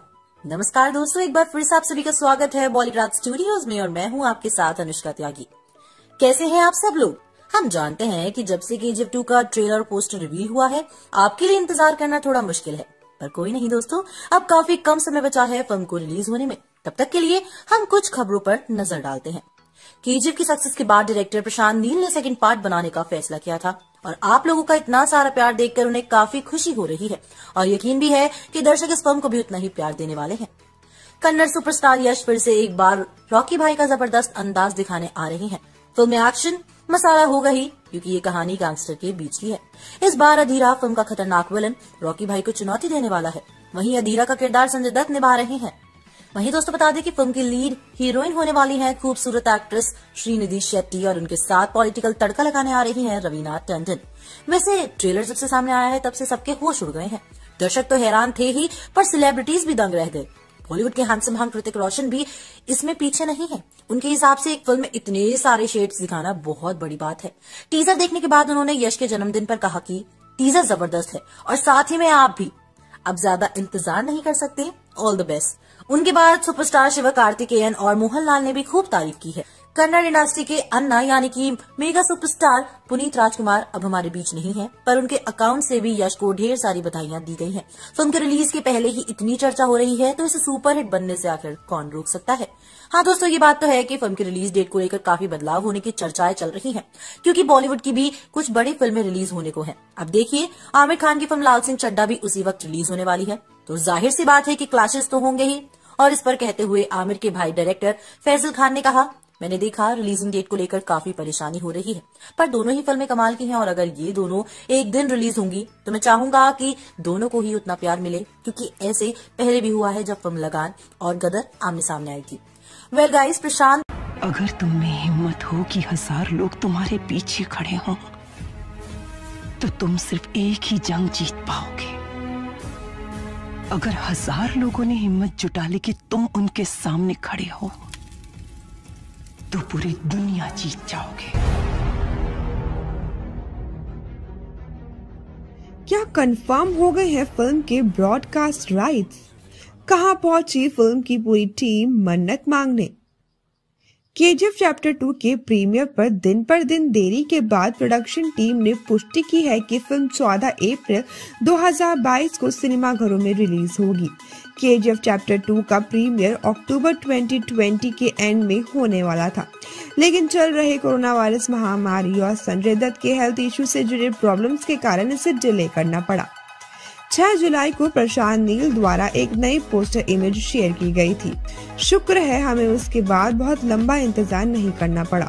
मेन लीड एक्टर यश ने अगस्त 2021 में अपने सोशल मीडिया पेज पर पुष्टि की कि 14 अप्रैल 2022 के लिए एक नई डेट सेट की जाएगी।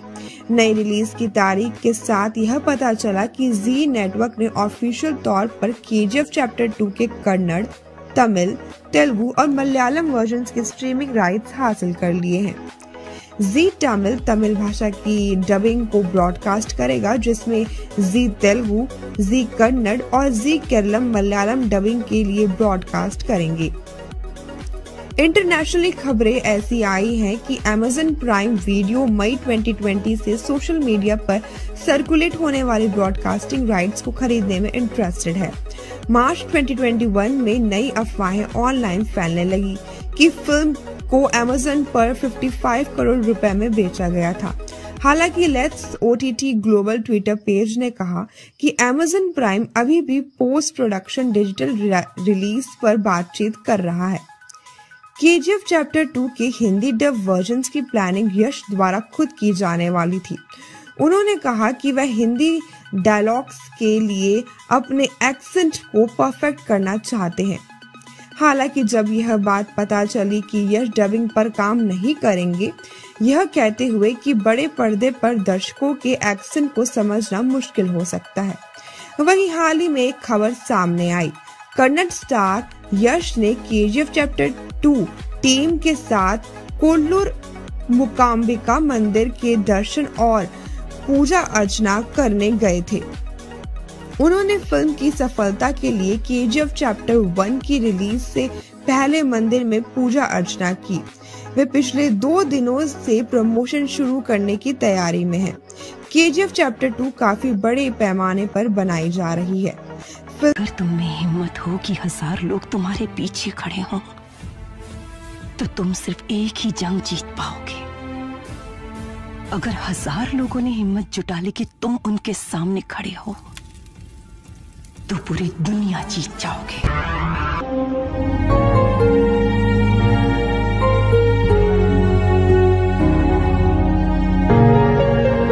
कुदरत का करिश्मा तो देखो उस रात दो घटनाएँ हुई। केजीएफ भी मिल गया और वो भी पैदा हो गया। ओ भाई क्या तेरा बाप नहीं कह रहा? नहीं रे तेरे बाप की और तेरा बाप मैं उसका कोई नामो निशान इतिहास के पन्नों में नहीं रहना चाहिए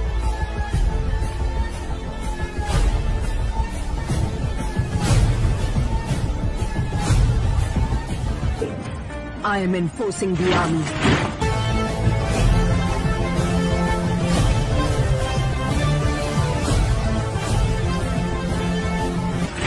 and signing a death warrant of the biggest criminal in India. क्या आपसी फ़ूड से होगा रॉकी को फ़ायदा? क्या अधीरा हो जाएँगे रॉकी की साइड? जी हाँ दोस्तों, एक बार फिर से आप सभी का स्वागत है हमारे चैनल पॉलीग्राफ स्टूडियोज की इस नई पेशकश में। जब भी हम थिएटर में किसी फ़िल्म को देखने जाते हैं तो हमें उस फ़िल्म से काफ़ी ज़्यादा एक्सपेक्टेशंस होती हैं। अक्सर हम किसी फ़िल्म को देखने जाने से पहले उस फ़िल्म के बारे में रिसर्च करते हैं। फ़िल्म के बारे में आए रिव्यूज़ पढ़ते हैं, अपने दोस्तों से उस फ़िल्म की रेटिंग्स और फ़िल्म के बारे में पूछते हैं। अगर इसके बाद जब हम फ़िल्म को देखकर वापस आते हैं तो सबको उस फ़िल्म के बारे में अक्सर बताते हैं। इसे ही कहते हैं वर्ड ऑफ़ माउथ और अक्सर इस वर्ड ऑफ़ माउथ से ही किसी भी फ़िल्म को हिट या फ्लॉप होने का पता चलता है। जब के चैप्टर वन थिएटर्स में लगी थी तो सभी ने इस फ़िल्म की तारीफ़ की और अपने दोस्तों और जानने वालों को इस फ़िल्म को देखने के लिए कहा। और कुछ ऐसे ही ये फ़िल्म इतनी बड़ी सुपरहिट फ़िल्म बन गई। अब ये तो सभी जानते हैं कि इस फ़िल्म का अगला पार्ट जल्दी आने वाला है। और ऐसे में सभी को इस फ़िल्म के सीक्वल से बड़ी उम्मीदें हैं। और साथ ही इस फ़िल्म के सीक्वल को लेकर बहुत ही ज़्यादा क्यूरियोसिटी भी है। तो चलिए हम आपको बताते हैं कि क्या हो सकता है के चैप्टर टू में। हम आपको बता देते हैं कि इस फ़िल्म के ट्रेलर में हमें दिखाया गया है कि इस बार रॉकी अपनी माँ को किए गए वादे को पूरा करेंगे। और अगर कोई भी उनके इस वादे को पूरा करने के रास्ते में आता है तो रॉकी उसे छोड़ेगा नहीं। जिससे हमें ये तो पता चलता है कि इस बार हमें रॉकी का बहुत ही खतरनाक और खूंखार वर्जन देखने को मिलने वाला है। K G F part one का एंड रॉकी के साथ खत्म हुआ था, जिसमें रॉकी करुणा को मारने के बाद के जी एफ़ का राजा बन जाता है। अब रॉकी की मदद से सूर्यवर्धन के पाँच सपोर्टर्स एंड्रयू राजेंद्र देसाई, गुरु पांड्यन, कमल और अधीरा सोने की खान पर अपना हाथ रखने की सबसे बड़ी मुश्किल को दूर कर देते हैं, यानी कि गरुणा को मरवा देते हैं रॉकी के द्वारा। अब कुछ समय बाद ऐसा लगता है कि रॉकी की वजह से इन सब के बीच फूट पड़ जाएगी और सबके अलग अलग प्लान्स हैं। और आखिर में अधीरा रॉकी की मदद करने के लिए अपना हाथ आगे बढ़ाएगा। ये होने वाला है के चैप्टर टू में। तो दोस्तों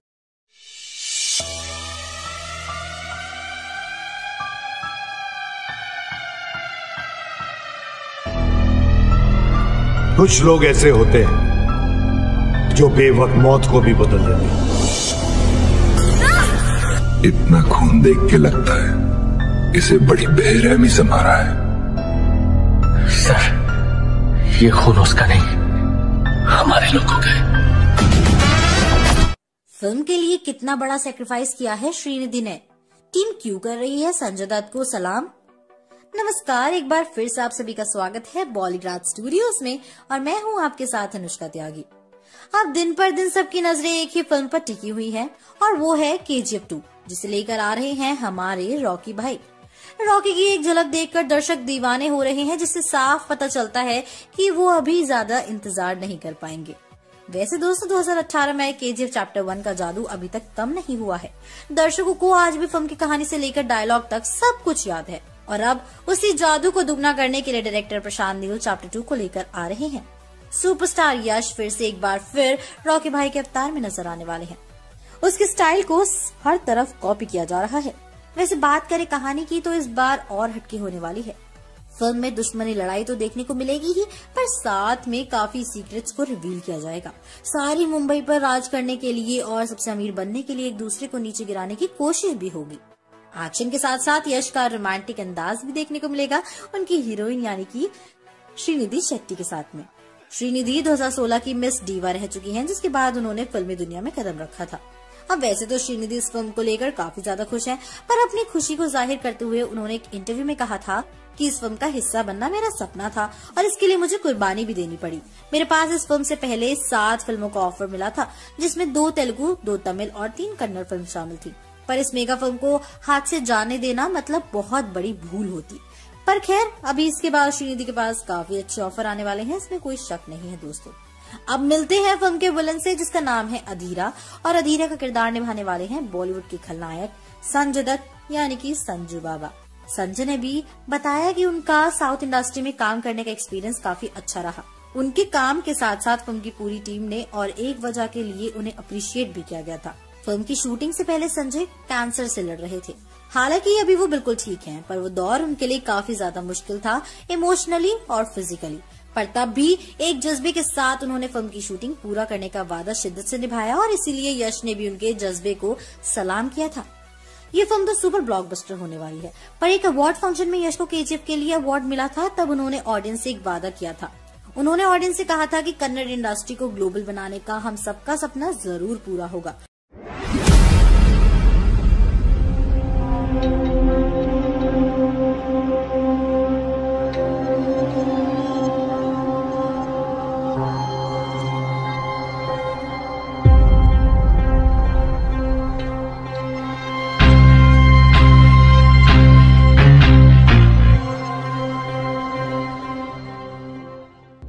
अधीरा के लुक से हुआ किस कन्नड़ एक्टर का कंपैरिजन इसके बारे में क्या बोले केजीएफ के डायरेक्टर प्रशांत नील? क्या दोनों के बीच कंपैरिजन करना होगा गलत? जी हाँ दोस्तों, एक बार फिर से आप सभी का स्वागत है हमारे चैनल पॉलीग्राफ स्टूडियोज के फिल्मी गलियारे में। फ़िल्म के जी को लेकर लोगों की एक्साइटमेंट इस हद तक बढ़ चुकी है कि उन्हें दूसरी फ़िल्म में भी के के एक्टर्स ही नज़र आते हैं। या यूँ कहें कि केजीएफ के कैरेक्टर्स उन्हें दूसरी फ़िल्म में दिखाई देने लगे हैं। ऐसा हम इसलिए कह रहे हैं क्योंकि हाल ही में जब कन्नड़ एक्टर श्रीनागर केटी ने अपनी आने वाली फ़िल्म गोबली से अपना पोस्टर रिलीज़ किया, जिसमें उनका फ़िल्म में होने वाला लुक दिखाया गया है। तब तक कई लोगों ने उनके लुक को के जी एफ़ टू के अधीरा, यानी कि संजय दत्त के लुक से कंपेयर करना शुरू कर दिया। वहीं जैसे ही इसके बारे में के जी एफ़ चैप्टर्स के डायरेक्टर को पता चला, उन्होंने इसके बारे में अपनी राय रखी। आपको बता दें कि इस पर उनका ये कहना था कि के जी एफ़ टू में अधीरा का लुक वाइकिंग्स के रॉ ब्रूटली से इंस्पायर है और गोवली के मेकर्स श्रीनागर केटी को अपने हिसाब से अलग लुक देने की कोशिश की गई है। इसीलिए इन दोनों के लुक को कंपैरिजन करना सही नहीं होगा। लेकिन डायरेक्टर की इस बात को न सुनते हुए अभी भी लोगों ने फ़िल्म गोवली को ट्रोल करना बंद नहीं किया। अब ट्रोलर्स चाहे जो भी कहें, लेकिन मेकर्स उनके कहने पर फ़िल्म में कैरेक्टर के लुक को फिर से डिज़ाइन नहीं करेंगे। अब आगे देखना तो ये होगा कि के जी एफ़ टू के कारण श्रीनागर किट्टी की फ़िल्म पर कोई बुरा असर तो नहीं पड़ता, या इसकी वजह से फ़िल्म का फ्री में प्रमोशन होता है। वैसे के जी एफ़ टू एक पैन इंडिया फ़िल्म है, जिसे पाँच भाषाओं में बनाया गया है। इस फ़िल्म में आपको यश, संजय दत्त एंड्रयू रवीना टंडन, श्रीनिधि शेट्टी और प्रकाश राज अहम रोल में नज़र आने वाले हैं। इस फ़िल्म को देखने के लिए लोगों के बीच जो एक्साइटमेंट है, उसे देखकर तो यही बताया जा रहा है कि ये फ़िल्म एक बार फिर से बॉक्स ऑफ़िस पर नए रिकॉर्ड बनाएगी। फ़िल्म की रिलीज़ को पहले कई बार टाला जा चुका है, लेकिन इस बार मेकर्स ने यह साफ़ तौर पर कह दिया है कि इस बार फ़िल्म तय तारीख पर ही रिलीज़ की जाएगी। आपको बता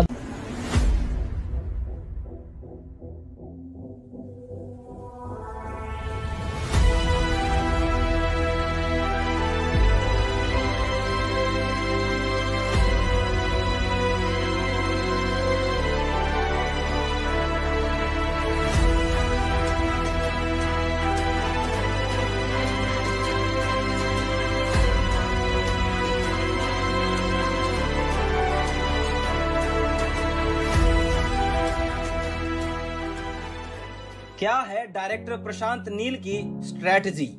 कौन से बंधन तोड़े डायरेक्टर ने केजीएफ के साथ? क्या है उनके आगे के प्लान्स हेलो दोस्तों, मैं नितिन आपका स्वागत करता हूँ बॉलीग्रेड स्टूडियोज के दिलचस्प गलियारे में। कहते हैं कि कहानी एक फ़िल्म की सच्ची आत्मा है।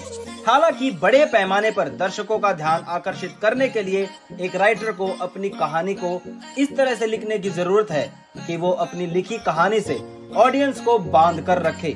इमोशंस के साथ एक क्लियर संदेश भेजे, जिसमें लैंग्वेज बैरियर ना हो। और केजीएफ के डायरेक्टर, राइटर प्रशांत नील की फ़िल्में इस कसौटी पर खरी उतरती हैं। और इसीलिए उनके अपकमिंग प्रोजेक्ट्स और उनकी कहानियों से ऑडियंस कनेक्ट कर पाती है। केजीएफ चैप्टर वन की रिलीज़ के बाद दर्शकों के हीरो यश।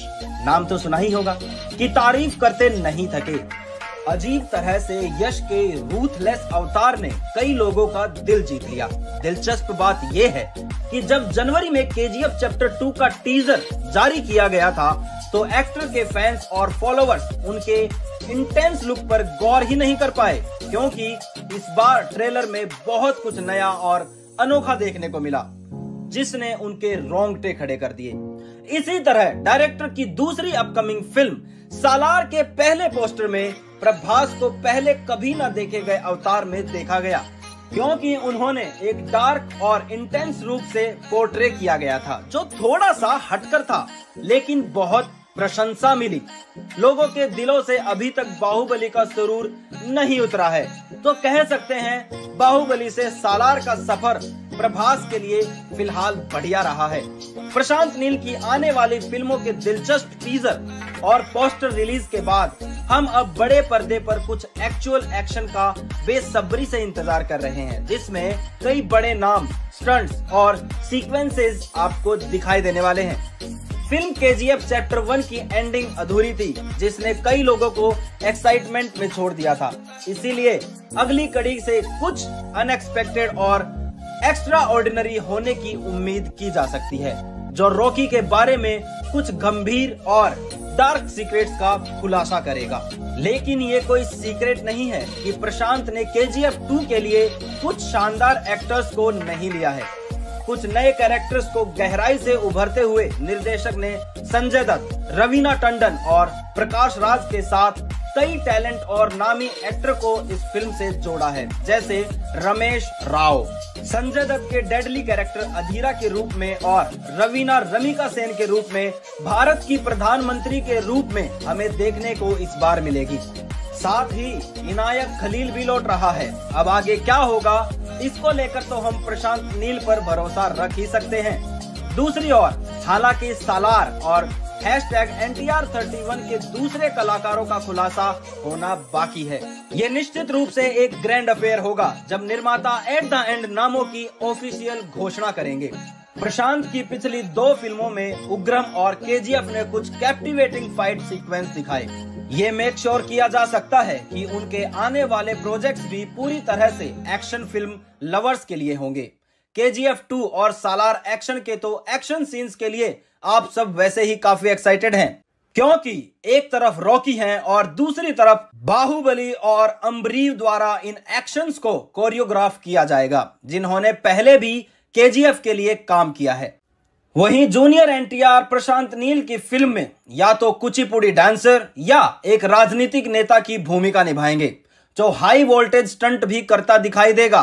खैर, अभी के लिए हम के चैप्टर टू पर ही फोकस करेंगे, जो अप्रैल 14 को इसी साल रिलीज़ के लिए तैयार है। तो क्या आप भी प्रशांत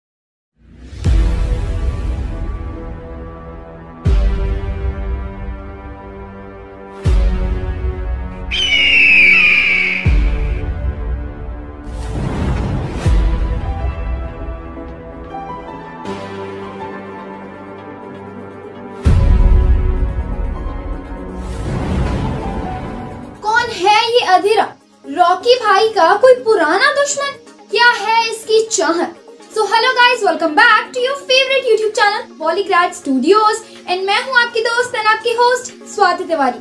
तो दोस्तों, खुशखबरी है उन सब के लिए जो रॉकी, यानी सुपरस्टार यश के डाई हार्ट फैंस हैं। यश की एक झलक दर्शकों के दिलों दिमाग पर सवार हो जाती है। इसके पहले भी सुपरस्टार ने जोरदार धमाका किया है। फ़िल्म के चैप्टर वन में पर कहानी यहीं तक कैसे रुकेगी?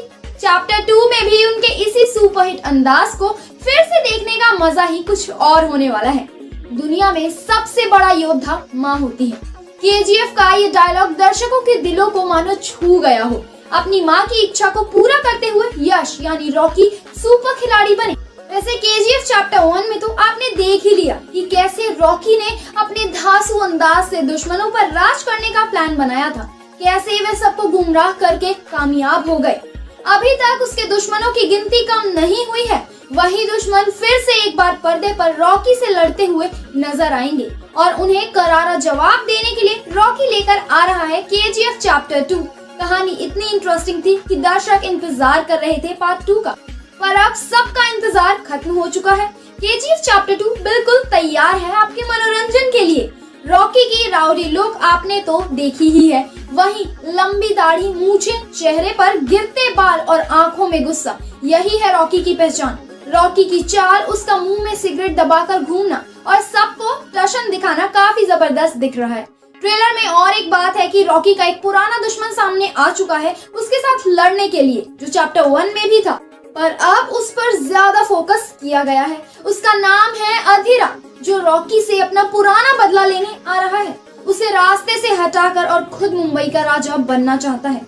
अधीरा का किरदार निभाएँगे बॉलीवुड के खलनायक संजय दत्त। संजू बाबा से जब इस रोल के बारे में पूछा गया था, तब उन्होंने इंटरव्यू में बोला कि ये किरदार काफ़ी ज़बरदस्त दिखने वाला है। इसका स्टाइल इसकी दुश्मनी सब दर्शकों को पसंद आने वाली है। वैसे देखा जाए तो संजय दत्त का लुक भी कुछ कम नहीं है। चेहरे पर अनोखे निशान कानों में बाली आँखों में काजल और अलग हेयरकट काफ़ी खतरनाक दिख रहा है।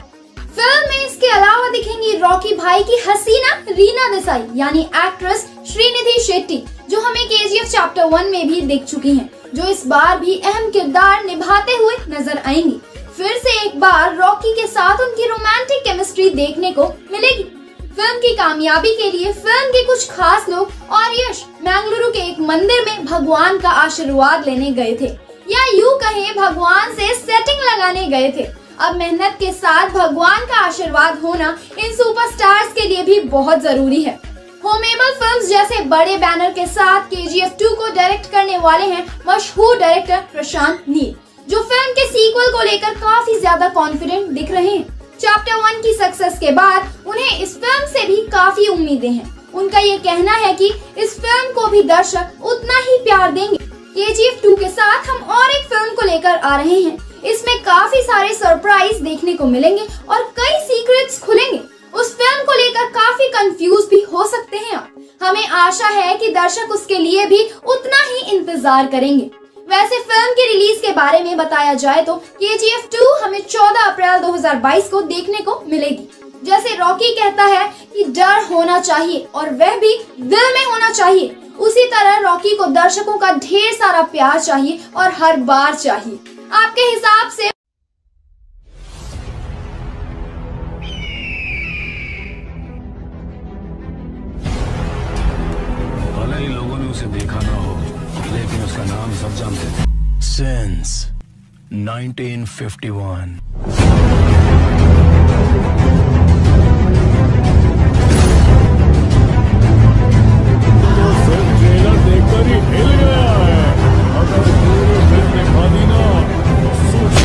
क्या होगा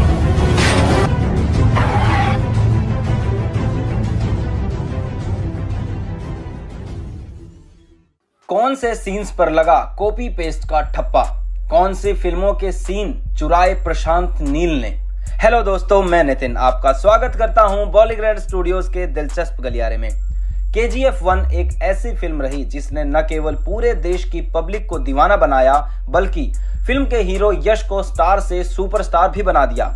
और इस सुपरस्टार की ज़बरदस्त फ़िल्म का आ रहा है सीक्वल यानी के जी एफ़ टू लेकिन क्या आप जानते हैं, इस बेहतरीन फ़िल्म के कई सीन्स ऐसे थे जो किसी और फ़िल्म से मिलते जुलते नज़र आते हैं, जिस पर कुछ लोगों ने सवाल भी उठाए। जी हाँ फ़िल्म 70s और 80s की एक real story, Kolar gold of field पर बेस्ड है। ऐसे ही एक और classic Hollywood film, the good, the bad and the ugly film से ये इंस्पायर्ड लगती है, क्योंकि इस फ़िल्म में जो बैकग्राउंड म्यूज़िक बजता है वो एक बिल्कुल अलग भाषा का था। और के में भी अगर आपने बैकग्राउंड म्यूज़िक पर ध्यान दिया होगा तो वो आपको थोड़ा थोड़ा इजिप्शियन म्यूज़िक की याद दिला देगा। जो वापस से हमें आने वाले सीक्वल में भी सुनने को मिले, क्योंकि कई ऐसी चीज़ें हैं जो के जी एफ़ वन में दिखने के बाद वापस से के जी एफ़ टू में दिखेंगी। ऐसे में फ़िल्म के कुछ सीन्स देख, आपको बाहुबली की याद तो ज़रूर आई होगी। फ़िल्म बाहुबली में, जहाँ एक 100 फुट का एक बड़ा स्टैचू माहेशमती किंगडम में रहता है, जिसे खींचने के लिए न जाने कितने स्लेव्स लगे रहते हैं, लेकिन जैसे उनके हाथ से रोप छूटने को होती है, तभी वहाँ मुँह कवर करके एक महान इंसान आता है और स्टैचू को रस्सी से खींचता है, और जैसे उसका चेहरा दिखाते, सभी ज़ोर ज़ोर से सब नारा लगाते हैं, बाहुबली बाहुबली। और ऐसा ही same scene K G F two के फ़र्स्ट लुक में दिखाया गया, जहाँ यश ब्लू और व्हाइट शर्ट में पूरी लीडर वाली वाइब दे रहे हैं, जहाँ कुछ लोगों का एक ग्रुप रस्सी की मदद से एक मैसिव पिलर खींच रहे हैं और उस पोस्टर के कैप्शन में लिखा था रीबिल्डिंग द एम्पायर कई लोगों ने इस पोस्टर को देखने के बाद कहा कि ये बाहुबली फ़िल्म के उसी एक्शन सीन से मिलता जुलता लगता है, जिसके बाद कई वेबसाइट्स पर इसके लिए फ़िल्म को काफ़ी ट्रोल किया गया। ठीक ऐसे ही फ़िल्म की कहानी में रॉकी भाई, लोकल लोग जो के में काम करते हैं, उनकी मदद करता है और उनको स्लेवरी से बचाता है। ठीक ऐसे ही एक हॉलीवुड फ़िल्म ब्लड डायमंड में भी देखने को मिला था, जहाँ अफ्रीका में डायमंड माइन का काम होता था और आसपास के लोगों को स्लेव्स की तरह उस डायमंड माइन में काम करना पड़ता था और रॉकी की तरह ही वहाँ भी एक मसीहा आया डेनी आर्चर जो उन सब लोगों को स्लेवरी से बचाता है। दोनों ही फ़िल्मों में रोकी का पार्ट इस पार्ट से इंस्पायर्ड लगता है, लेकिन असल खुलासा तो अब होगा जब के जी एफ़ टू चौदह अप्रैल को बड़े पर्दे पर आएगी। तभी उठेगा राज कि डायरेक्टर ने बाहुबली और हॉलीवुड की और किन किन फ़िल्मों से कॉपी किए हैं फ़िल्म के सीन्स।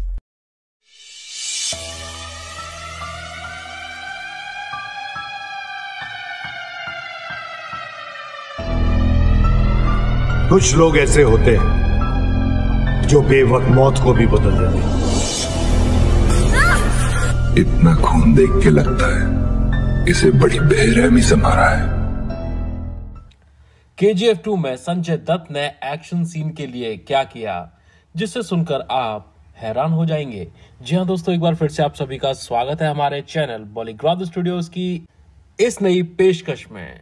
कन्नड़ सुपरस्टार यश की धमाकेदार film K G F chapter two को लेकर लंबे समय से चर्चा है।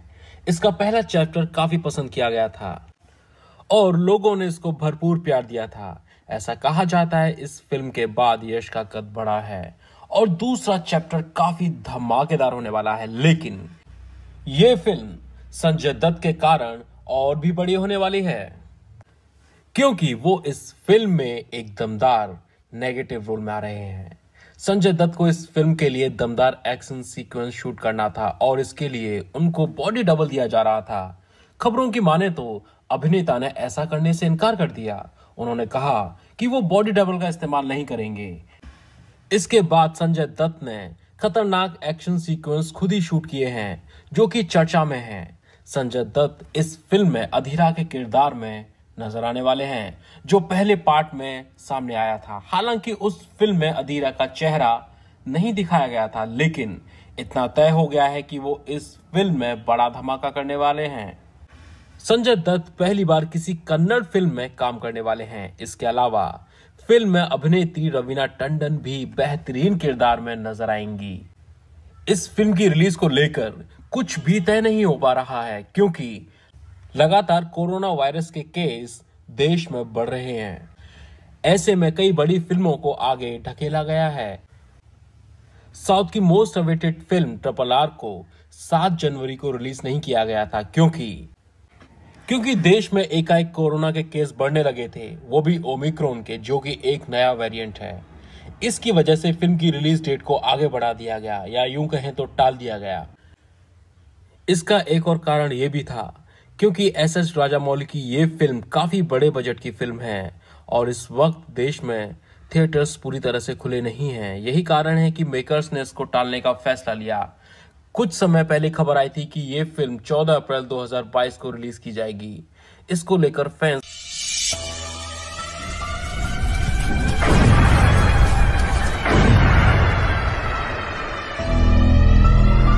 कुछ लोग ऐसे होते हैं।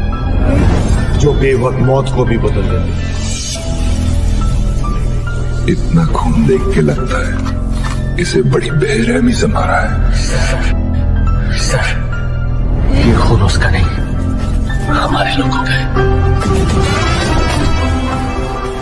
क्या रीजन है फ़िल्म को एक साथ बड़े पर्दे पर उतारने का?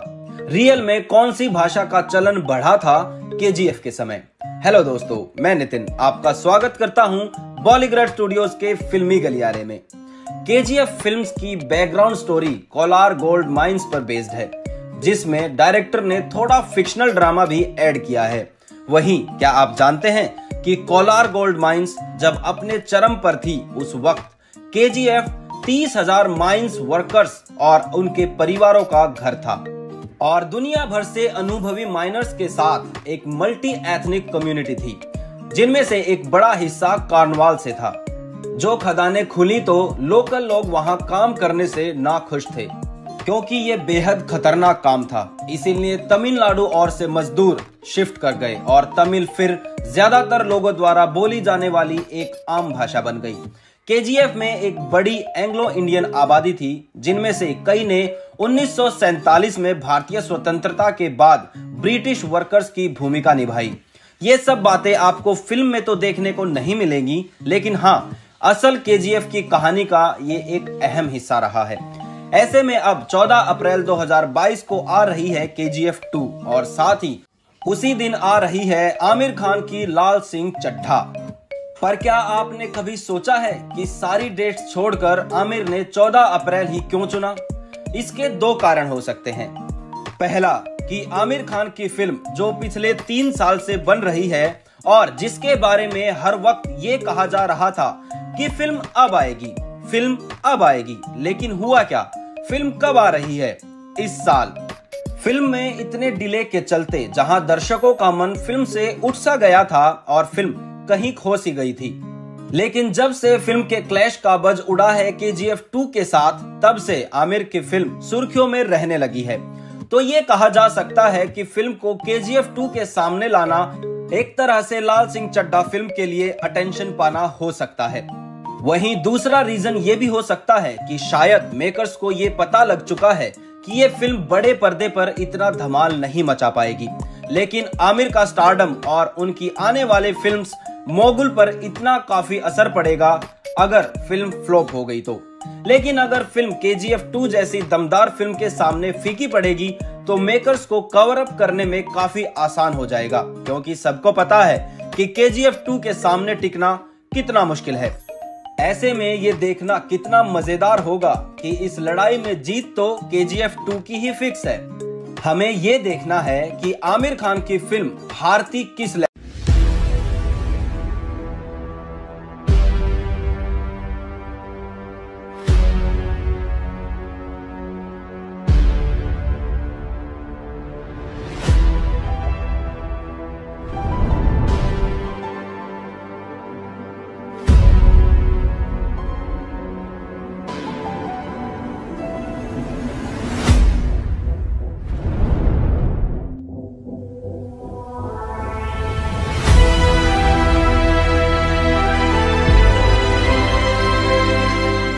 के लुक से हुआ किस कन्नड़ एक्टर का कंपैरिजन इसके बारे में क्या बोले केजीएफ के डायरेक्टर प्रशांत नील?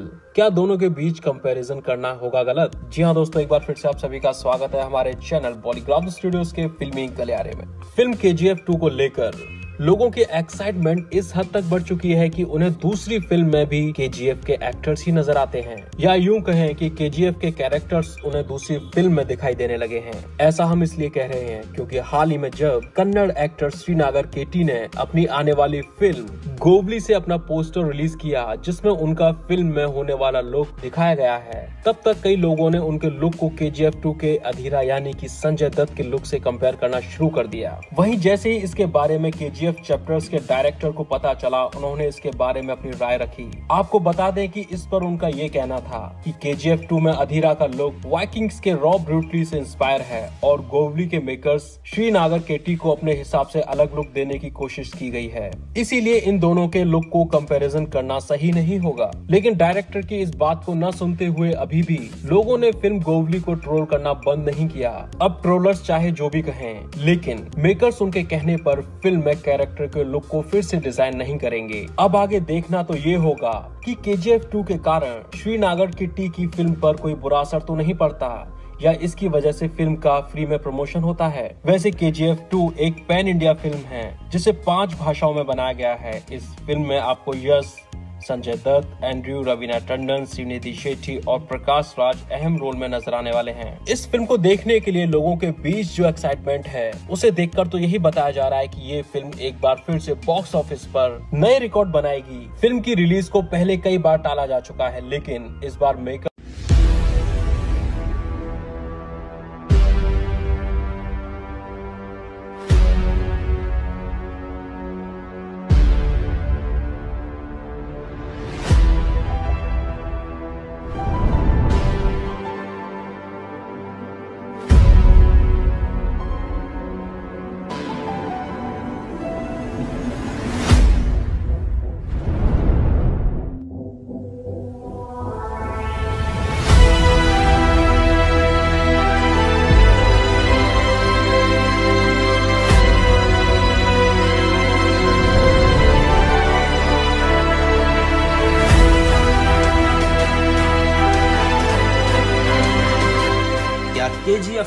दिखेगा रॉकी का स्लेव्स के लिए प्यार। क्यों नहीं दिखाए हैं गुरु पांड्यान के ट्रू इंटेंशंस हेलो दोस्तों, मैं नितिन। आपका स्वागत करता हूँ बॉलीग्रेड स्टूडियोज के फिल्मी गलियारे में। अक्सर हम किसी भी एक्टर या एक्ट्रेस को अपना फेवरेट इसीलिए कहते हैं क्योंकि उस एक्टर या एक्ट्रेस की अदाकारी हमें पसंद आती है और हम उनकी फ़िल्मों को पसंद करते हैं। शाहरुख खान के फैंस उनकी रोमांस भरी फ़िल्मों के फैंस हैं। और वहीं दूसरी ओर, आमिर खान, जिन्हें बॉलीवुड का मिस्टर परफेक्शनिस्ट के नाम से जाना जाता है, अक्सर बॉलीवुड फ़िल्मों में अपनी मेथड एक्टिंग के लिए जाने जाते हैं। और उनके फैंस भी उनके इसी अंदाज के लिए उन्हें इतना ज़्यादा पसंद करते हैं। वहीं अगर हम फ़िल्म मेकर्स की बात करें तो जहाँ एक तरफ़ करण जौहर को उनके फैंटेसी क्रिएट करने वाली फ़िल्मों के लिए जाना जाता है वहीं दूसरी तरफ़ अनुराग कश्यप को अपनी रियलिटी दिखाने वाली हार्ड हिटिंग फ़िल्मों के लिए जाना जाता है। आजकल बड़े पर्दे पर हमें पैन इंडिया फ़िल्में भी देखने को मिल रही हैं और ऐसे में जब फैंस को काफ़ी समय से इंतज़ार है केजीएफ फ़िल्म के सीक्वल का तो सब कयास लगा रहे हैं कि फ़िल्म के डायरेक्टर प्रशांत नील अपनी फ़िल्म मेकिंग के तरीके में ऐसा क्या दिखाएँगे, जिससे वो जीत पाएँगे देश भर की ऑडियंस का दिल? जहाँ तक केजीएफ की बात करें तो हम आपको बता दें कि केजीएफ चैप्टर टू फ़िल्म 2018 की फ़िल्म केजीएफ चैप्टर वन के आगे की कहानी बताएगी। और इस फ़िल्म में संजय दत्त, श्रीनिधि शेट्टी, रवीना टंडन और प्रकाश राज के साथ यश। बड़े पर्दे पर फिर से दिखेंगे। कई लोगों का कहना है कि के जी में हमें एक खतरनाक प्लॉट ट्विस्ट देखने को मिल सकता है। आपको बता दें कि के चैप्टर वन में, जबकि एंड्रयूज और राजेंद्र देसाई के इरादे क्लियर थे, पॉलिटिशियन गुरु पांड्यान ने भी अभी तक अपना असली रूप नहीं दिखाया है और हमने अधीरा को भी बहुत कम देखा है। हमने देखा है कि रॉकी का कैरेक्टर डेवलपमेंट हो रहा है और वो स्लेव्स के लिए एक सॉफ्ट कॉर्नर डेवलप कर चुका है। वो उतना पत्थर दिल नहीं है जितना वो केजीएफ में शुरू के समय था। रॉकी अब केजीएफ चैप्टर टू में इन स्लेव्स को आज़ाद कर देगा, जो शायद बाकियों के लिए अच्छा नहीं होगा। और शायद ये ही होने वाला है केजीएफ चैप्टर टू में एक बड़ा ट्विस्ट। अब हम तो इस फ़िल्म के इस प्लॉट ट्विस्ट को देखने के लिए एक्साइटेड हैं। और आप, क्या लगता है आप?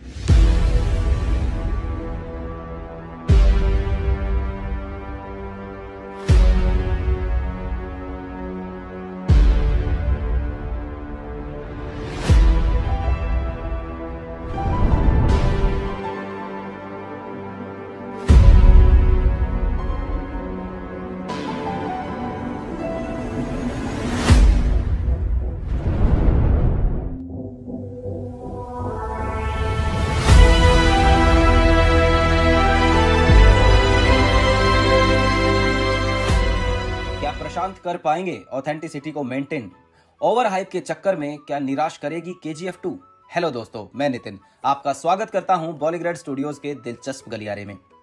टॉलीवुड फ़िल्मों को पूरे भारत में पसंद किया जाता है। साउथ इंडस्ट्री की फ़िल्मों की इतनी दीवानगी है कि लोग नई फ़िल्म आने का इंतज़ार करते रहते हैं। लेकिन इस बार लोगों को बम्पर एंटरटेनमेंट का डोज मिलने वाला है। दरअसल इंडस्ट्री की कई फ़िल्में लगातार रिलीज़ होने वाली हैं, जिसे लेकर दर्शक काफ़ी एक्साइटेड है। के जी एफ़ टू का ट्रेलर रिलीज़ हुए, काफ़ी लंबा वक्त बीत चुका है। ऐसे में फैंस को कन्नड़ स्टार यश की फ़िल्म का बेसब्री से इंतज़ार है। इसका पहला भाग भी लोगों को खूब पसंद आया था। बाहुबली सीरीज़ की तरह ही K G F chapter one को भी फैंस ने खूब पसंद किया था और पूरे देश में फ़िल्म के चर्चे थे। अब K G F chapter two film को भी पैन इंडिया पाँच भाषाओं में रिलीज़ किया जाएगा। बता दें कि के जी एफ़ का पहला पार्ट 2018 में रिलीज़ हुआ था। कन्नड़, तमिल, तेलुगु और हिंदी में आए इस फ़िल्म के नाम कई रिकॉर्ड बने। ये पहली कन्नड़ मूवी थी जिसने 250 करोड़ से ज़्यादा की कमाई की थी। वहीं ये चौथी हिंदी में डब की गई फ़िल्म थी जिसने सबसे ज़्यादा कमाई की थी। फ़िल्म के निर्देशक प्रशांत नील दूसरे भाग में वापसी कर रहे हैं। उन्होंने स्क्रिप्ट भी लिखी है। बॉलीवुड अभिनेता संजय दत्त के चैप्टर टू में डेब्यू करने वाले हैं। फ़िल्म में संजय दत्त खलनायक अधीरा की भूमिका निभाएँगे। K G F two Kannada, Telugu, Tamil, Malayalam और हिंदी सहित भाषाओं में रिलीज़ होगी। के जी एफ़ के पहले पार्ट की इतनी तारीफ़ और हाइप हुई थी कि लोगों को इस फ़िल्म के दूसरे पार्ट से भी बहुत ज़्यादा एक्सपेक्टेशंस हैं। अब इस ओवर हाइप के चक्कर में कहीं ये फ़िल्म फैंस को निराश ना कर दे। इसका ही डर सबके दिल और दिमाग में है। आपको बता दें कि इस डर को दूर मिटाने के लिए प्रशांत नील ने के जी एफ़ टू के सेट पर एक ऐसा माहौल बना रखा था जहाँ सब पूरी मेहनत से काम करते थे और चाहे वो फ़िल्म के स्टार यश हो या फिर कोई क्रू सभी को सेम ट्रीटमेंट मिलता था। प्रशांत ऐसा फ़िल्म में ऑथेंटिसिटी और एक डाउन टू अर्थ फील के लिए करते थे। अब हमें तो पूरी उम्मीद है कि ये फ़िल्म फैंस के स्टैंडर्ड्स और उनकी एक्सपेक्टेशंस पर खड़ी उतर पाएगी। अब फ़िल्म की कहानी और फ़िल्म के किरदार लोगों को इम्प्रेस कर पाते हैं या नहीं, ये तो समय ही बताएगा। अब ये फ़िल्म जब भी थिएटर्स में आएगी, क्या धमाका होगा, ये तो फ़िल्म की रिलीज़ होने के बाद ही पता चलेगा। अब हम तो इस फ़िल्म को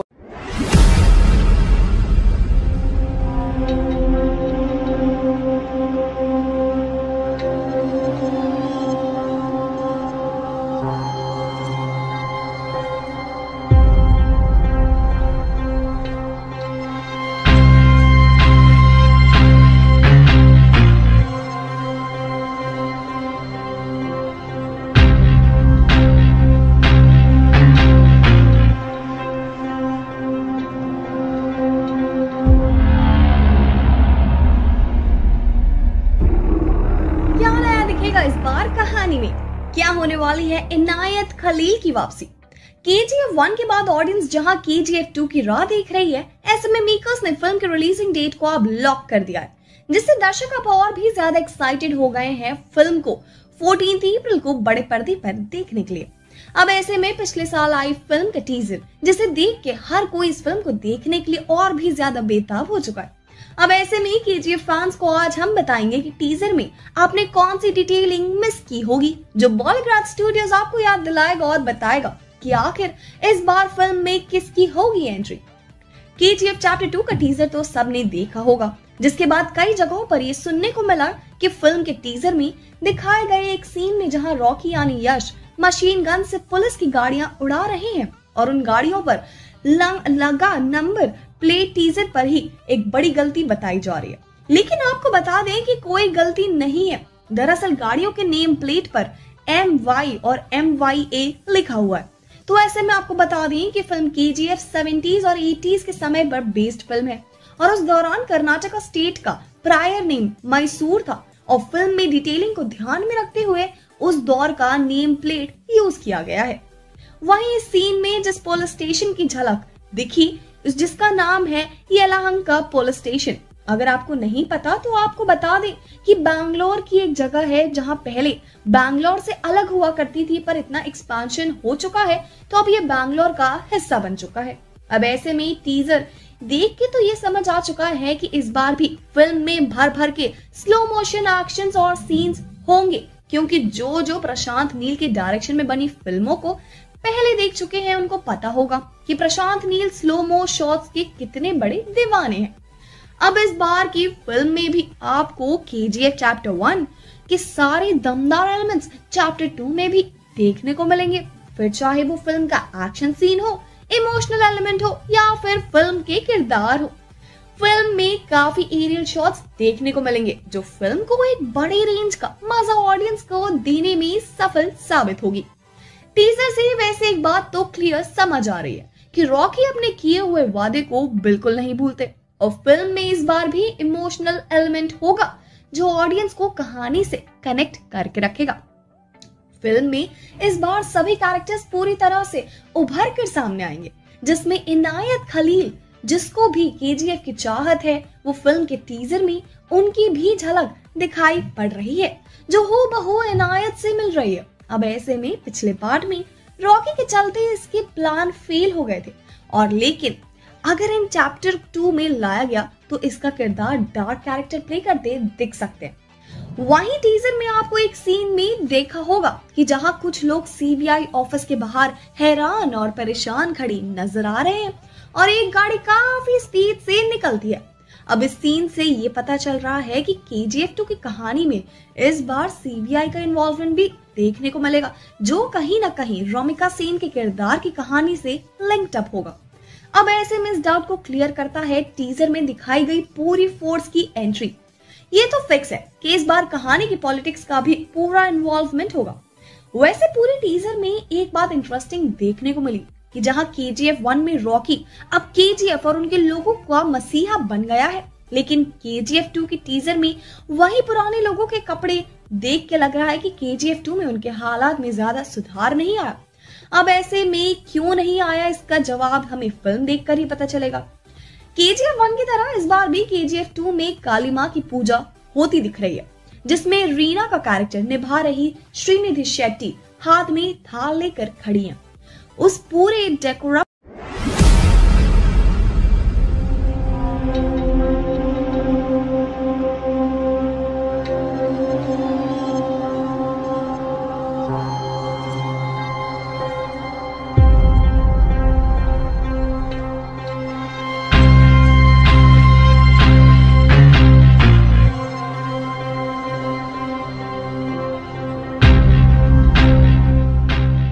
चाहिए फ़िल्म को वर्ल्ड वाइड फेम क्या के जी एफ़ टू होने वाली है इस साल की सबसे बड़ी सुपरहिट फ़िल्म क्या के जी एफ़ ऐसी भी बड़ा रिकॉर्ड सेट करेगी के जी एफ़ टू क्या हो सकता है के जी एफ़ टू के लिए फ़ायदेमंद? Film K G F chapter two को रिलीज़ होने में भले ही अभी लगभग दो महीने हो, लेकिन इस फ़िल्म का क्रेज लोगों में इस कदर बढ़ रहा है जैसे कि अगर फ़िल्म को कल भी रिलीज़ कर दिया जाए तो लोग अपना सब काम छोड़कर सबसे पहले फ़िल्म देखने थिएटर ही पहुँच जाएँगे। इसी क्रेज को देखते हुए मेकर्स की उम्मीद फ़िल्म से और भी ज़्यादा बढ़ती जा रही है। उन्हें तो यहाँ तक लगने लगा है कि के टू इस साल की सबसे सुपरहिट फ़िल्म भी बन सकती है। कहा तो ये भी जा रहा है कि इस बार के चैप्टर टू अपने पहले पार्ट से भी ज़्यादा बड़ा रिकॉर्ड सेट कर सकती है। आपको तो याद ही होगा, जब फ़िल्म के रिलीज़ हुई थी, तब वो कन्नड़ फ़िल्म इंडस्ट्री की सबसे पहली फ़िल्म बनी थी जिसने अब तक का हाईएस्ट बॉक्स ऑफ़िस कलेक्शन अपने नाम किया था। वहीं अगर के जी टू को बड़ा रिकॉर्ड सेट करना है तो फ़िल्म को अपना नाम वर्ल्ड वाइड फ़ेमस होना होगा, जैसे कि फ़िल्म बाहुबली के साथ हुआ था। बाहुबली ने अपने पहले दिन वर्ल्ड वाइड लगभग 300 करोड़ का कलेक्शन किया था। इसलिए अगर के जी टू भी कुछ ऐसा ही करती है तो वो आसानी से लाल सिंह चड्ढा को पीछे छोड़ देगी। अब के तो सिर्फ़ कन्नड़ फ़िल्म इंडस्ट्री के लिए ही स्पेशल थी, लेकिन के जी टू को उससे भी आगे निकलने के लिए इंडिया के साथ दूसरे जगहों पर भी हिट लिस्ट में शामिल होना होगा। वैसे ऐसा होने के बहुत ज़्यादा चांसेस है, क्योंकि मेकर्स की माने तो उन्हें लगता है कि फ़िल्म जब यूएसए में रिलीज़ होगी तो वहाँ से भी फ़िल्म को काफ़ी अच्छा रिस्पॉन्स मिल सकता है, जो फ़िल्म के लिए बहुत फ़ायदेमंद साबित हो सकता है। यूएसए में लोग फ़िल्म को इसलिए भी देखेंगे क्योंकि वहाँ पर फ़र्स्ट चैप्टर को लोगों ने बहुत पसंद किया था, जिसके कारण उन्हें आगे की कहानी जानने में इंटरेस्ट ज़रूर होगा। अब इसमें से कितनी बातें सच होती हैं और फ़िल्म मेकर्स की उम्मीदों पर किस हद तक खरी उतरती है, ये तो हमें रिलीज़ के दिन पता चल जाएगा। आगे बात करें फ़िल्म की तो के जी टू एक पैन इंडिया फ़िल्म है, जिसे पाँच भाषाओं में बनाया गया है।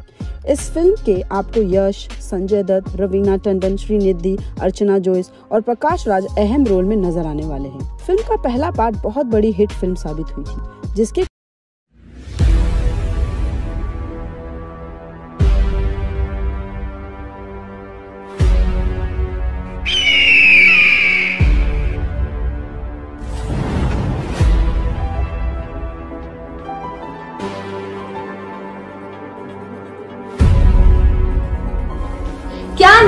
देखना चाहती ऑडियंस के जी एफ़ टू में। यश की सिगरेट से किसके तन बदन में उठता है धुआँ? यूँ तो दुनिया भर में के जी एफ़ वन के फैंस भरे पड़े हैं, लेकिन के जी एफ़ टू में वापस वो सीन्स ना दिखाए जाने पर कुछ लोग सवाल खड़े कर रहे हैं। दरअसल के जी एफ़ वन में कुछ ऐसे सीन्स थे जो टॉक्सिक मैस्कुलैनिटी को बढ़ावा देते नज़र आए थे। तो हमारा सवाल ऑडियंस से ये है कि क्या उनको फ़िल्म के कंटेंट से प्रॉब्लम है या फिर हमारे रॉकी भाई से? मानो stalking is a serious offence पर रॉकी का कैरेक्टर ही कुछ ऐसा है कि वो एसआरके की तरह बाहें फैला के अपनी हीरोइन को अपने पास नहीं बुला सकता था। दरअसल रॉकी पहला ऐसा कैरेक्टर नहीं है जो बड़े पर्दे पर ऐसा करता हुआ नज़र आया है। इससे पहले साउथ की फ़िल्म अर्जुन रेड्डी का रीमेक कबीर सिंह में भी कुछ ऐसा ही नज़र आया था। जी हाँ जब कबीर सिंह प्रीति को थप्पड़ मारते हैं तो उसे पोजेसिवनेस वाला प्यार कहा जाता है। पर जब वही हमारे रॉकी भाई अपने प्यार, यानी रीना को स्टॉप करते हैं तो लोग उसे गलत कहते हैं। ये कैसा अन्याय है? के जी एफ़ वन से यश का स्टारडम काफ़ी बढ़ गया है, जिसकी वजह से आने वाली फ़िल्म में अगर वो कुछ ऐसा करते हैं तो उसकी वजह से उनकी ऑडियंस भी प्रभावित हो सकती है। लेकिन ऑडियंस को यह समझना होगा कि फ़िल्म में दिखाया गया कैरेक्टर बस एक काल्पनिक किरदार है और उसके द्वारा किए गए एक्शंस स्क्रिप्ट की डिमांड है, ना कि एक्टर की पर्सनल चॉइस अब आप खुद ही सोचिए, प्यार में पड़े आशिक का जब दिल टूटेगा तो वो देवदास ही बनेगा ना? लेकिन फिर भी लोग इसे गलत कहते हैं। वो शाहरुख खान को कहते हैं कि वो अल्कोहल को प्रमोट कर रहे हैं। अब आप खुद ही सोचिए, अगर ऑडियंस ऐसा सोचेगी तो हमें न्यू एज का देवदास कहाँ से मिलेगा? और अगर किसी को इस फ़िल्म से गलत मैसेज पहुँचता तो ऑडियंस स्टॉकिंग करती और सिगरेट फूकती हुई नज़र आती। ना कि यश की फ़िल्म के लिए हॉलीडे लेती हुई नज़र आती। और ना ही यश के बर्थडे के लिए नेशनल हॉलीडे की डिमांड करती। ऐसे में साउथ में स्वैग का चलन पहले से ही चलता आ रहा है। फिर चाहे वो गन चलाने का स्टाइल हो या फिर यश की सिगरेट जलाने का स्टाइल। और सीक्वल के आने से पहले ही इतने सारे रिकॉर्ड्स अपने आप में ही ये दर्शाता है कि ऑडियंस के जी एफ़ टू के लिए कितनी एक्साइटेड है। तो एक बार फिर से अगर तुम में हिम्मत हो कि हज़ार लोग तुम्हारे पीछे खड़े हों तो तुम सिर्फ़ एक ही जंग जीत पाओगे। अगर हज़ार लोगों ने हिम्मत जुटा ली कि तुम उनके सामने खड़े हो तो पूरी दुनिया जीत।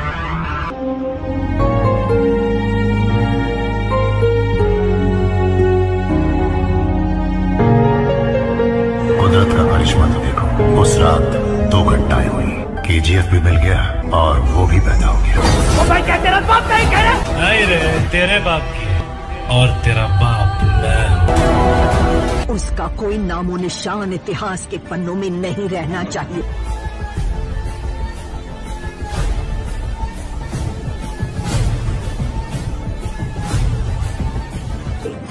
I am enforcing the army.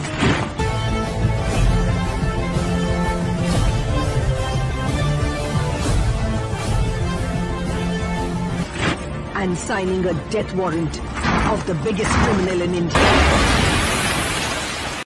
क्या आपसी फ़ूड से होगा रॉकी को फ़ायदा? क्या अधीरा हो जाएँगे रॉकी की साइड? जी हाँ दोस्तों, एक बार फिर से आप सभी का स्वागत है हमारे चैनल पॉलीग्राफ स्टूडियोज की इस नई पेशकश में। जब भी हम थिएटर में किसी फ़िल्म को देखने जाते हैं तो हमें उस फ़िल्म से काफ़ी ज़्यादा एक्सपेक्टेशंस होती हैं। अक्सर हम किसी फ़िल्म को देखने जाने से पहले उस फ़िल्म के बारे में रिसर्च करते हैं। फ़िल्म के बारे में आए रिव्यूज़ पढ़ते हैं। अपने दोस्तों से उस फ़िल्म की रेटिंग्स और फ़िल्म के बारे में पूछते हैं। अगर इसके बाद जब हम फ़िल्म को देखकर वापस आते हैं तो सबको उस फ़िल्म के बारे में अक्सर बताते हैं। इसे ही कहते हैं वर्ड ऑफ़ माउथ और अक्सर इस वर्ड ऑफ़ माउथ से ही किसी भी फ़िल्म को हिट या फ्लॉप होने का पता चलता है। जब के चैप्टर वन थिएटर्स में लगी थी तो सभी ने इस फ़िल्म की तारीफ़ की और अपने दोस्तों और जानने वालों को इस फ़िल्म को देखने के लिए कहा। और कुछ ऐसे ही ये फ़िल्म, इतनी बड़ी सुपरहिट फ़िल्म बन गई। अब ये तो सभी जानते हैं कि इस फ़िल्म का अगला पार्ट जल्दी आने वाला है। और ऐसे में सभी को इस फ़िल्म के सीक्वल से बड़ी उम्मीदें हैं और साथ ही इस फ़िल्म के सीक्वल को लेकर बहुत ही ज़्यादा क्यूरियोसिटी भी है। तो चलिए हम आपको बताते हैं कि क्या हो सकता है के चैप्टर टू में। हम आपको बता देते हैं कि इस फ़िल्म के ट्रेलर में हमें दिखाया गया है कि इस बार रॉकी अपनी माँ को किए गए वादे को पूरा करेंगे। और अगर कोई भी उनके इस वादे को पूरा करने के रास्ते में आता है तो रॉकी उसे छोड़ेगा नहीं। जिससे हमें ये तो पता चलता है कि इस बार हमें रॉकी का बहुत ही खतरनाक और खूंखार वर्जन देखने को मिलने वाला है। के पार्ट वन का एंड रॉकी के साथ खत्म हुआ था, जिसमें रॉकी करुणा को मारने के बाद के का राजा बन जाता है। अब रॉकी की मदद से सूर्यवर्धन के पाँच सपोर्टर्स एंड्रयू राजेंद्र देसाई, गुरु पांड्यन, कमल और अधीरा सोने की खान पर अपना हाथ रखने की सबसे बड़ी मुश्किल को दूर कर देते हैं। यानी कि गरुणा को मरवा देते हैं रॉकी के द्वारा। अब कुछ समय बाद ऐसा लगता है कि रॉकी की वजह से इन सब के बीच फूट पड़ जाएगी और सबके अलग अलग प्लान्स हैं। और आखिर में अधीरा रॉकी की मदद करने के लिए पुष्पाएँ पुष्पाएँ हेटियर्स इन्हें पोच दो। माना कि एक बॉलीवुड फ़िल्म का डायलॉग है न जाने कितनी बार बोला और सुना गया है। लेकिन आपको बता दें कि इस डायलॉग में बॉलीवुड की सच्चाई शायद से नहीं दिखती है। हो गए ना आप हैरान? वैसे इसमें हैरानी वाली कोई बात नहीं है, क्योंकि बॉलीवुड को रोने धोने वाले और इमोशनल सीन्स बेहद पसंद है। और इसीलिए बॉलीवुड के फ़िल्म मेकर्स अपनी सारी फ़िल्मों में रोने धोने वाले और इमोशनल सीन्स को भरपूर डालते हैं। इसी के साथ बता दें कि जब भी आप किसी थिएटर में मूवी को देखने जाते हैं, और अगर आप रो देते हैं तो मानिए कि वो फ़िल्म का काम सक्सेसफुल है और वो हिट ही होने वाली है। इसी के साथ आपको भी ये पता है कि अब साउथ की फ़िल्में पैन इंडिया लेवल पर रिलीज़ होने लगी है। तो ऐसे में उन्हें बॉलीवुड के ऑडियंस को मद्देनजर रख करके फ़िल्मों को बनाना पड़ता है। और इसीलिए हमें साउथ की फ़िल्मों में भी इमोशनल सीन्स दिखने को मिलने लगी है। इसी के साथ हम बात कर रहे हैं के जी की। सुपरस्टार यश की upcoming film K G F two को लेकर के दर्शक बेसब्री से इंतज़ार कर रहे हैं। क्योंकि इसके पहले पार्ट ने जो धमाका मचाया था, उसके बाद सबको इसके सीक्वेंस का बेसब्री से इंतज़ार है। इसी के साथ आपको बता दें कि इसके पोस्ट प्रोडक्शन की काम पूरी हो चुकी है और जल्द ही यानी कि 14 अप्रैल को रिलीज़ होने वाली है। और केचप चैप्टर वन की धमाकेदार परफॉर्मेंस के बाद तो यही लगता है कि जब इसका सीक्वल आएगा तो वो भी सुपर जुपर हिट फ़िल्म ही साबित होगी। और इतना ही नहीं, बल्कि बॉक्स ऑफ़िस पर धमाल भी मचाएगी इसी के साथ आपको बता दी कि इस फ़िल्म के सीक्वल में हमें क्लाइमैक्स सीन देखने को मिलने वाले हैं। यानी कि सिर्फ़ क्लाइमैक्स ही नहीं, बल्कि खतरनाक क्लाइमैक्स सीन और आपको ये भी बता दी कि ऐसा सुनने में आया है कि इस फ़िल्म के सीक्वल के लिए एक खतरनाक क्लाइमैक्स सीन लिखा गया है, जिससे दर्शकों का ये कहना है कि हो सकता है कि केजीएफ के मेकर्स ने फ़िल्म की एंड में यश के किरदार को मार दिया हो, ताकि फैंस अपने चहीते किरदार के लिए आँसू बहाए। लेकिन आपको बता दें कि इस बार सिर्फ़ ऑडियंस ही नहीं होने वाले हैं जो अपने आँसू बहाएँगे, क्योंकि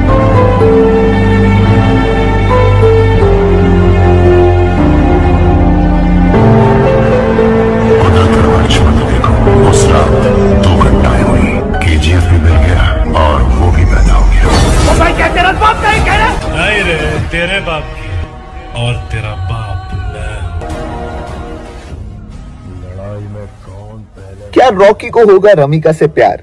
क्या खेल खेलेगा रॉकी? कहाँ से शुरू होगी कहानी? हेलो दोस्तों, आप सभी का स्वागत है बॉलीग्राज स्टूडियोज में।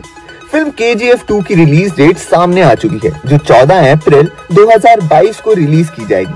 के जी एफ़ देखने के बाद दर्शकों को के जी एफ़ टू देखने का लंबे समय से इंतज़ार है। दर्शकों में फ़िल्म की कहानी को लेकर ज़बरदस्त एक्साइटमेंट बनी हुई है। के जी एफ़ टू में Bollywood actor Sanjay Dutt negative किरदार में नज़र आने वाले हैं। ऐसे में दर्शकों में इस फ़िल्म की कहानी को लेकर उत्सुकता और भी बढ़ गई। फ़िलहाल फ़िल्म की कहानी पहले ही सामने आ चुकी है, लेकिन क्या है के जी एफ़ टू की कहानी? तो यहाँ बता दें K G F chapter two की शुरुआत वहीं से दिखाई जाएगी, जहाँ से पहली फ़िल्म का द एंड हुआ था। के जी एफ़ फ़िल्म के अंत में यश यानी रॉकी ने अपनी मरती हुई माँ से वादा किया था कि वो गरीबों में दम नहीं तोड़ेगा। रॉकी के इसी वादे पर film K G F chapter two की कहानी आगे बढ़ेगी। के जी एफ़ चैप्टर टू में दिखाया जाएगा कि रॉकी का सपना है कि वो सोने के व्यापार पर राज करे और इसीलिए वो इस काम में लगा हुआ है। फ़िल्म के पहले पार्ट में रॉकी गरीबों की मदद करके उनका मसीहा बन गया था। चैप्टर टू में भी रॉकी गरीबों की मदद करते हुए नज़र आएगा, लेकिन इसके साथ ही वो अपने सपने को भी आगे बढ़ाएगा। रॉकी की मुलाकात अधीरा यानी संजय दत्त से हुई फ़िल्म में रॉकी और अधीरा के बीच सोने की खदानों को लेकर ज़बरदस्त टक्कर देखने को मिलेगी। रॉकी अब काफ़ी बड़ा हो गया है। वो राजनीति के खेल और माफियों के समीकरणों को समझने लगा है। फ़िल्म में उसका लक्ष्य अपने दुश्मनों को खत्म करने के साथ ही अपने सपने को पूरा करना भी है। फ़िल्म में अभिनेत्री रवीना टंडन भी है, जो एक पॉलिटिशियन का किरदार निभाती नज़र आने वाली है। फ़िल्म में रॉकी और रवीना टंडन के बीच लव एंगल दिखाया जाएगा। फ़िल्म में रॉकी और रवीना टंडन के बीच लव एंगल दिखाया जाएगा। रॉकी का प्यार उसके लक्ष्य के आड़े आएगा। अब आप सोच रहे होंगे कि प्यार तो रीना थी ना तो अब रमिका से प्यार कैसे होगा? तो यहाँ आपको बता दें कि प्यार और जंग में सब जायज़ होता है, और यहाँ जंग जीतने के लिए एक झूठा प्यार भी करना पड़े।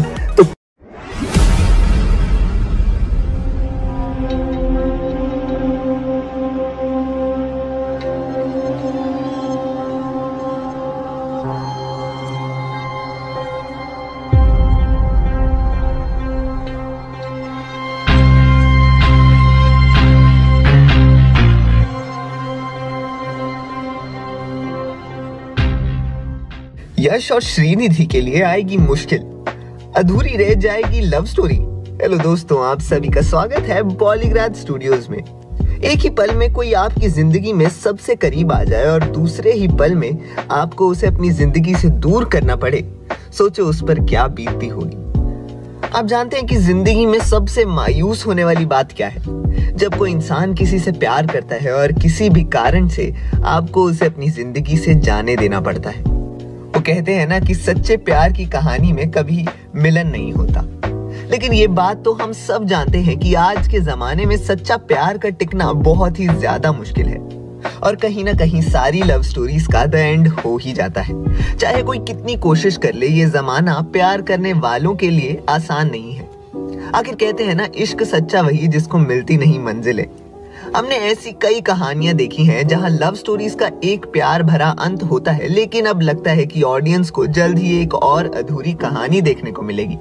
हम बात कर रहे हैं फ़िल्म के चैप्टर टू की। खबर है कि के चैप्टर टू की कहानी वहीं से शुरू होगी जहाँ फ़िल्म का पहला पार्ट खत्म हुआ था। कहानी में एक्टर यश के किरदार रॉकी ने अपनी मरती हुई माँ से वादा किया था कि वो गरीबों में नहीं मरेंगे। उसका ये वादा दूसरे भाग में पूरा होगा। साथ ही के चैप्टर टू में हमें रॉकी भाई और रीना की लव स्टोरी भी दिखाई देगी। लेकिन सुनने में आया है कि फ़िल्म में इन दोनों की प्रेम कहानी अधूरी ही रह जाएगी, क्योंकि इनको रॉकी की पावर की लड़ाई में काफ़ी दिक्कतों का सामना करना पड़ेगा। Film K G F chapter two के लिए दर्शकों के बीच उत्सुकता का कारण एक रॉकी का और दुश्मन, यानी कि संजय दत्त का किरदार अधीरा भी है। साथ ही आपको बता दें कि ऑडियंस के जी एफ़ चैप्टर टू में श्रीनिधि शेट्टी, जो फ़िल्म में रीना का किरदार निभा रही हैं, उनकी परफॉर्मेंस देखने के लिए बहुत ज़्यादा एक्साइटेड है। अब श्रीनिधि इस फ़िल्म में अपने किरदार से लोगों को इम्प्रेस कर पाती हैं या फिर नहीं, ये तो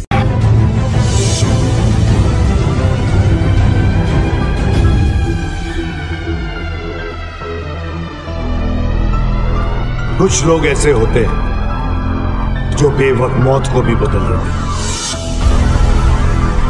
इतना खून देख के लगता है इसे बड़ी बेरहमी से मारा है। सर ये खून उसका नहीं हमारे लोगों का है।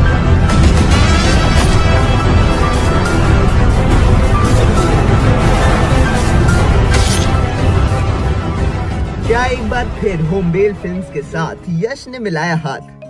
कौन सी होगी यश की अगली फ़िल्म? हेलो दोस्तों, आप सभी का स्वागत है बॉलीग्राज स्टूडियोज में।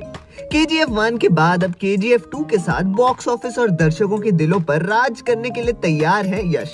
ऐसे में हाल ही में के जी एफ़ टू के सभी स्टार कास्ट की फ़ीस सामने निकल कर आई है, जिसमें फ़िल्म के हीरो यश ने सबसे ज़्यादा फ़ीस चार्ज की है, साथ ही फ़िल्म के प्रॉफिट में भी भागीदार बनेंगे। के जी एफ़ वन से लाइमलाइट में आने वाले रॉकी भाई की film K G F to चौदह अप्रैल 2022 को थिएटर्स में रिलीज़ होने वाली है। ऐसे में इसके बाद यश कौन सी फ़िल्मों में नज़र आएँगे, ये जानने के लिए आप सभी एक्साइटेड होंगे। तो बता दें आपको कि पिछले साल के एंड के आस